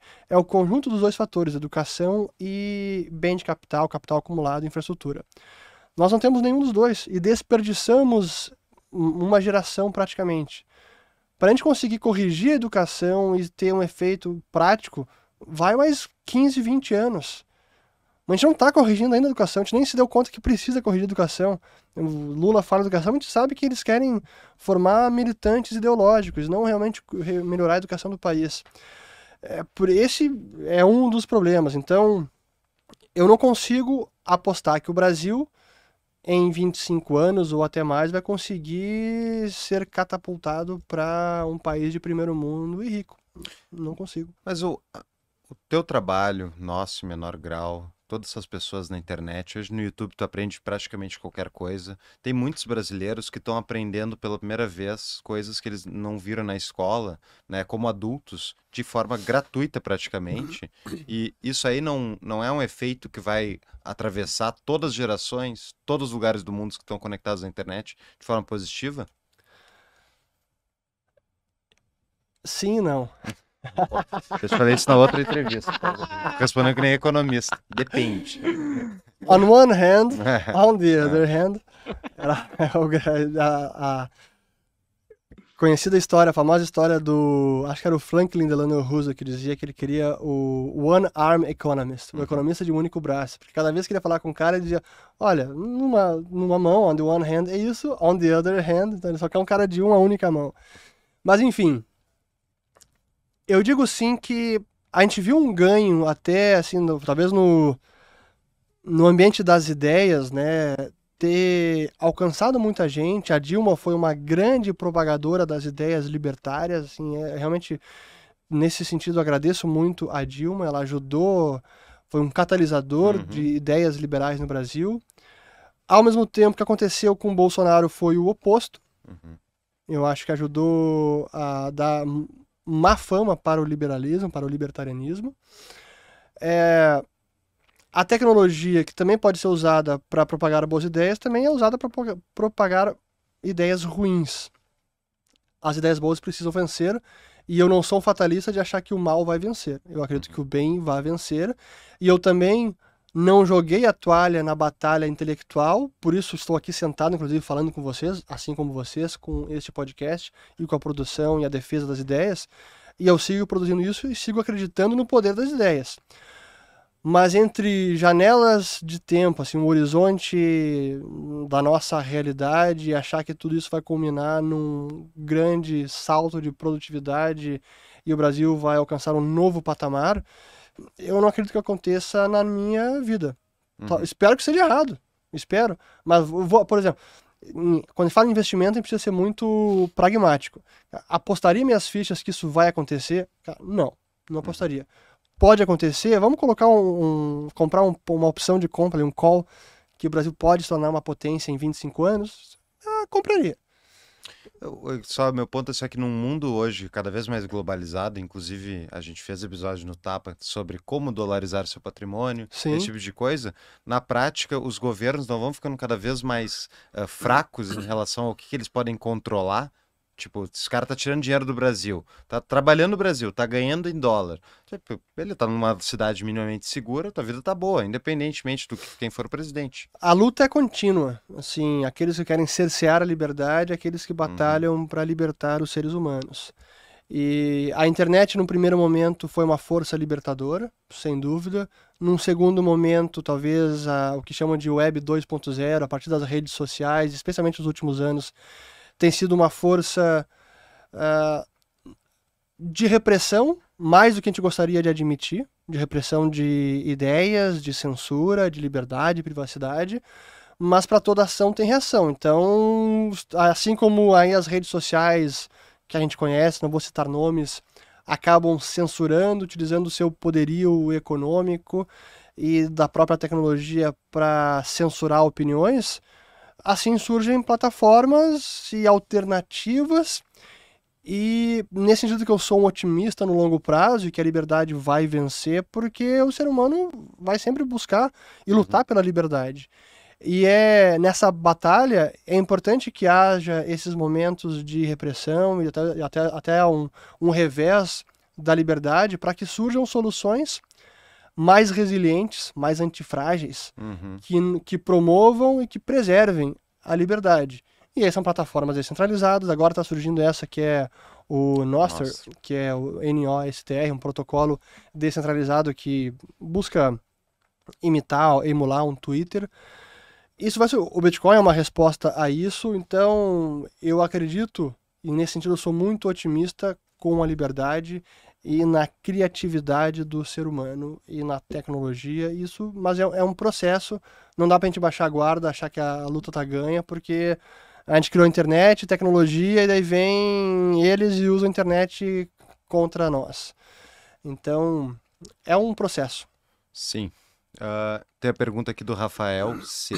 Urrich. Exatamente essa. Agora que vivemos com mais acesso ao dólar, corretoras e bancos, existe bom motivo para ter poupança, investimento, investimentos em reais que não sejam a reserva de emergência? Alguma coisa em real acho que é preciso ter, talvez até além da reserva de emergência, pelas assim, o, o risco que existe de, do imponderável que pode acontecer na nossa vida, nossa profissão, saúde, etc. Vai saber. E aí acho que vai além da reserva de emergência, né? Só ah, uma demissão, estou sem renda, preciso, ah, preciso acessar a reserva de emergência. Pode ser um pouco mais do que isso. É, além disso, em alguns momentos você pode arbitrar a tendência do real contra o dólar, tipo agora, será que o real tá pode se valorizar mais? Eu acho até que pode, apesar de Lula e uhum. seu governo. Isso significa que ah, não vou dolarizar tudo agora. Vou fazer isso ao longo do tempo. Mas eu diria que há mais motivos para ter um percentual maior em dólares do que o oposto. Então, acho que isso é o que eu uhum. poderia dizer de resposta. Muito bem. Júlio? Tem uma pergunta do Thiago Ló, especificamente de um setor. Uh, Urge, considerando o novo modelo de negócio offsite que muitas empresas estão adotando, o que você acha de investimento no setor de cybersecurity? Pô, cybersecurity é um, um setor super importante e para mim é um setor que seguirá crescendo porque a internet vai seguir crescendo, a tecnologia vai seguir crescendo, é o metaverso, é o Web3, é a inteligência artificial, então segurança cibernética é fundamental. Se eu pudesse apostar e dizer, ah, esse setor vai crescer, sem dúvida alguma, vai crescer. Pergunta do João Hornburg. Fernando, a moeda única do Mercosul seria uma outra forma de contornar ou destruir a independência do Banco Central? Pô, mas abrir mão da independência do nosso Banco Central, por mais que seja uma independência entre aspas, para delegar essa independência à Argentina, peronismo, essas coisas. Mas a independência não é nossa, né? É quer dizer, a independência do país, mas não é do PT. O PT não tem, ele não, ele não quer essa independência do, do Banco Central. É, é verdade, mas é, eu acho que é um problema maior depois. A gente está vendo agora com o euro, assim, é um país sair do euro é quase impossível. Mas isso presume, novamente, que eles querem sair, eles querem o controle. Quanto mais órgãos distantes daqui da gente, né, mais fácil de. Talvez. É interessante, não sei dizer. Júlio? Tem a pergunta do Victor, né, que está trabalhando conosco aí. Urge, prazer enorme em ter minha pergunta sendo feita para ti. Muito obrigado por todo o conteúdo que produz. Você acredita que existe possibilidade do real não ter mais curso forçado no Brasil? Se sim, como isso seria possível? Consequências e quais seriam os benefícios para a população e os políticos? Foi isso que eu encontrei. Ó, a Síria. É. A Síria se atravessou ali. Viu? Tem alguém ouvindo a nossa conversa. Tem muita gente ouvindo. Esse é o problema da internet. Vamos lá. Não vejo isso acontecendo. Primeiro, assim, tem curso legal e curso legal forçado. Eu não vejo nenhum dos dois caindo no Brasil, nem curso legal, nem curso forçado. O curso legal até poderia, o curso legal forçado até poderia cair. O legal, acho quase que impossível. Até para explicar a diferença entre os dois, O curso legal simplesmente diz que a moeda do país tem poder liberatório de dívidas pré-contratadas e para pagamento de impostos. O curso legal forçado, além desse poder liberatório, diz que é uma contravenção recusar a moeda legal no seu negócio. Então, vocês do Tapa não podem recusar o real nas doações dos seus patrões. Uhum. Sendo uma empresa sediada no Brasil, vocês têm que aceitar obrigatoriamente o real. Esse é o curso legal forçado. Nos Estados Unidos, em vários países, só tem curso legal. Se vocês tivessem empresa e restaurante, vocês pode, poderiam ter na placa ali, não aceitamos o dólar. Uhum. Isso pode ser feito nos Estados Unidos. Mas eu não vejo isso acabando no Brasil porque realmente traria uma liberdade monetária, assim, dizendo, ah, não, o curso, o, o, real a partir de 2024 não tem mais curso legal. Pode escolher a moeda que for. Excelente. Uhum. Adoraria. Não vai acontecer. Assim, não vai. Não vai acontecer aqui, não vai acontecer com dólar, com nenhum país. Pergunta do R. Cavalini. Urrich, qual é a sua opinião sobre auditorias externas? Os escândalos recorrentes, Enron, Petrobras, Evergrande e Americanas, não derruba a tese libertária que o mercado ou que uma associação privada tem interesses alinhados e capacidade de fiscalizar as empresas? Uma pergunta boa, até um pouco filosófica. Uhum. O livre mercado não resolve tudo? Como é que acontece esse tipo de coisa? Essa é uma boa. Essa é a crítica dos esquerdistas, uhum. os mais estatizantes. E eu respondo sempre que o livre mercado não é uma panaceia, não é o paraíso na Terra, mas é um arranjo de soluções dos problemas da sociedade infinitamente superior ao arranjo estatal coercitivo. Mas teremos problemas mesmo no livre mercado. No caso da auditoria, a auditoria tem seus limites. No caso da Enron, é interessante que a, a, Arthur Anderson, que era a Big Four, uma, era a Big Five, né? Da Arthur Anderson, uhum. era a auditoria da Enron, ela foi condenada criminalmente e depois, isso foi 2001 que faliu a empresa, se não me engano ela foi 2000, 2012 que ela foi condenada. 2001 faliu a Enron, uma grande fraude contábil, até então a maior dos Estados Unidos. Só que em 2005, a Suprema Corte reverteu essa condenação criminal da Arthur Anderson é, considerando que ela era inocente, não agiu de má fé e não foi cúmplice para ocultação de provas, da fraude e tudo mais. Mas a auditoria, quando o cara quer realmente, quando o criminoso quer praticar fraude, cara, ele vai fraudar tudo. Uhum. Como era o Madoff, que fraudava o certificado das ações, tudo. Então a auditoria precisa ser muito diligente, muito, assim, quase que investigativa para tentar encont conseguir encontrar uma fraude do cara que está perpetrando a fraude intencionalmente. Uhum. Então não é tão simples e nem é o papel da auditoria ser uma. não é uma. não é um trabalho investigativo.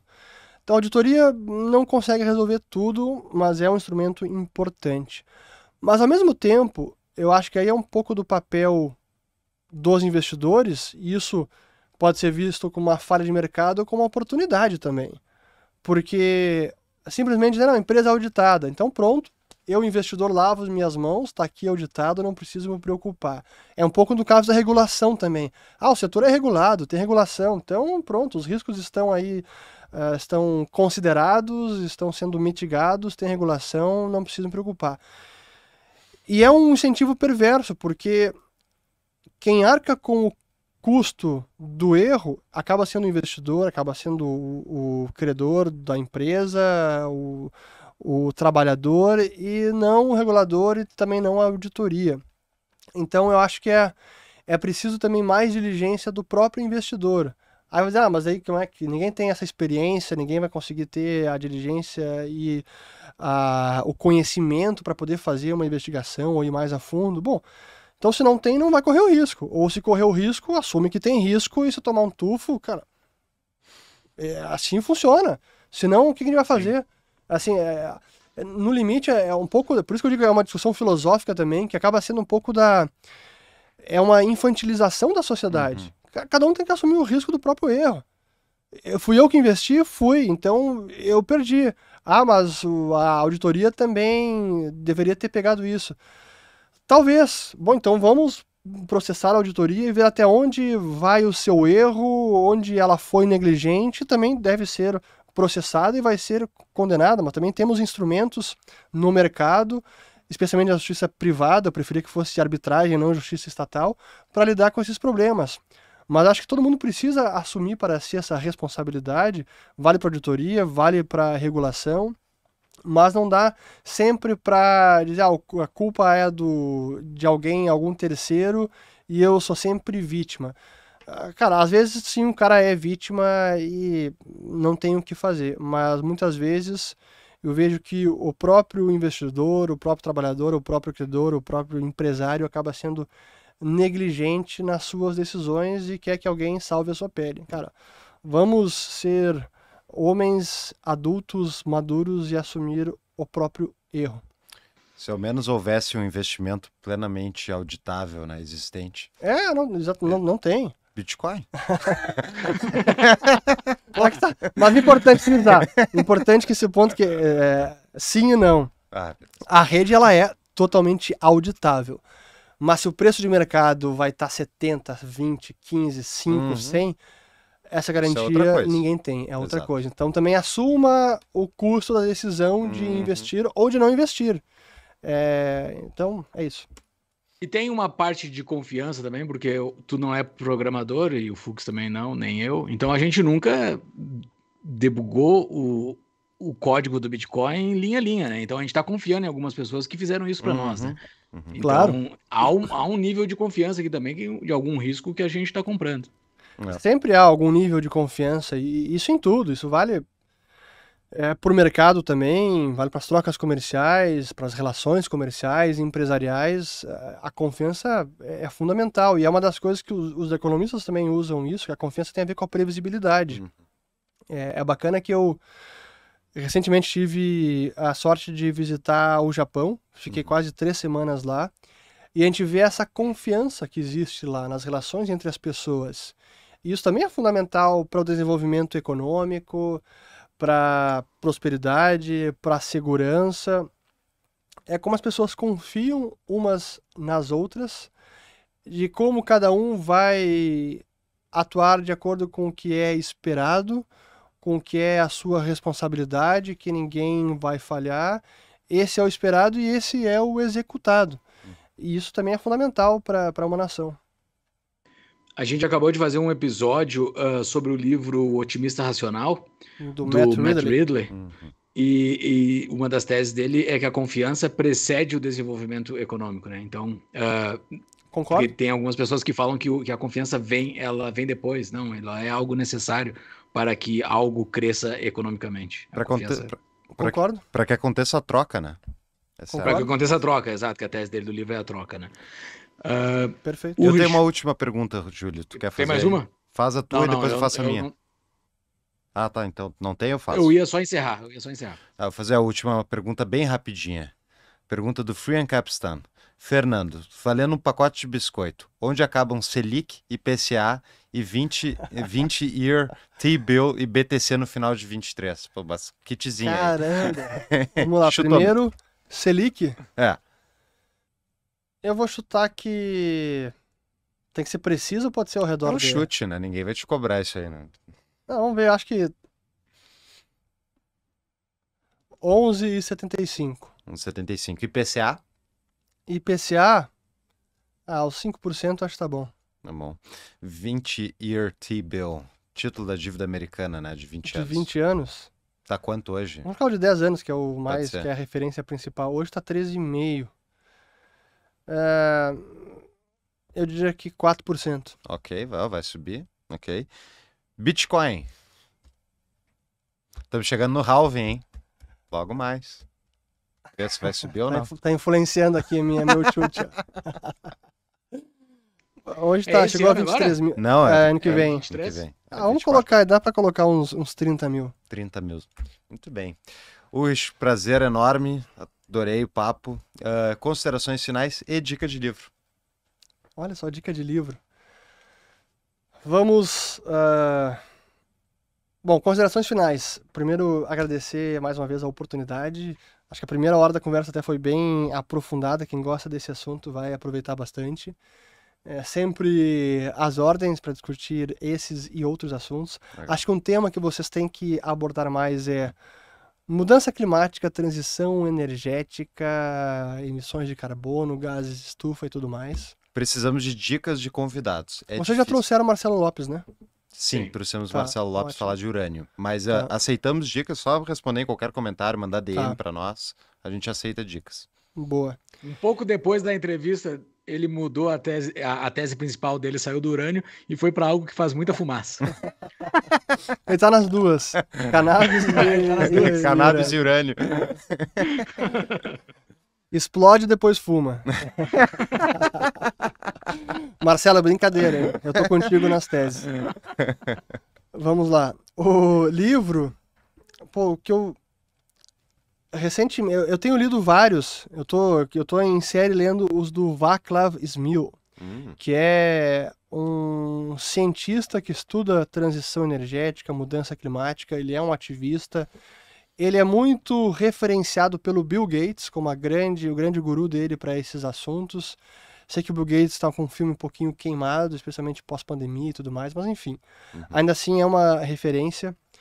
E eu li dois livros dele já. É, Energy Transitions, é um recente. No momento eu tô lendo um chamado Energy and Civilization, a History. É, o, o primeiro que eu li dele é sobre básico sobre energia, mas tem vários deles. Tem um sobre como o mundo funciona, o outro que os números não mentem, Numbers Don't Lie.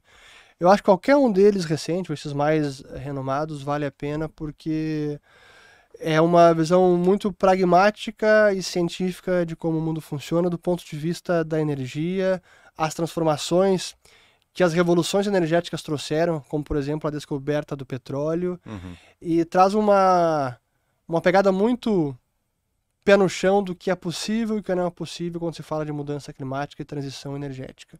É bem Maravilha. bacana. Uma das conclusões básicas é que a era do petróleo, dos combustíveis fósseis, estará conosco por muitos anos ainda, por mais que o Fórum Econômico Mundial queira acabar com a indústria amanhã. Muito bem. Ótimos. Ele acredita na subida dos mares ou não? Ele fala da tese da subida dos mares? Não foca muito, é um, é um possível é, efeito, mas não é o, o principal. É, geralmente isso é o, é o mais que salta aos olhos de quem não está dentro desta, desta, desta conversa. Sempre fala nessa subida dos mares e tudo mais, que é algo mega polêmico, né? Uh, Urge, muito obrigado por ter aceitado o nosso papo. Foi muito legal conversar contigo. Sempre é bom conversar contigo. Quem nos ouviu agora aqui, ouça o Urge lá nos outros momentos, que é o episódio 77 e o episódio 167. Então a gente conversou com ele. E, e me cobrem, se, eu- se eu falei alguma besteira, me contradisse, alguma coisa assim, podem colocar aí no- nos comentários, quero saber. O primeiro episódio, o 77, foi no primeiro mês da pandemia, né? Então, naquele, naquele mês lá, todo mundo se comprometeu com alguma coisa. Uhum. Não, mas eu ouvi bem hoje. Eu ouvi hoje as duas entrevistas e então. Resistiram ao teste do tempo. Boa, Boa. O, aprovado. Além de livro, o Urich e falou de um documentário no meio do nosso episódio, que é Fraude, a Grande Recessão. É muito bom. É Ah. muito bom mesmo para entender. Falando em 2008 fraude- Uma ótica boa. O documentário do Madoff, do Netflix, vale muito a pena, são quatro episódios. Todas as dicas estarão nas nossas notas do episódio no nosso site. Boa. Era isso então. Valeu, Era isso. Até a próxima. Muito obrigado, até a próxima. Obrigado, até a próxima. Valeu. Bye.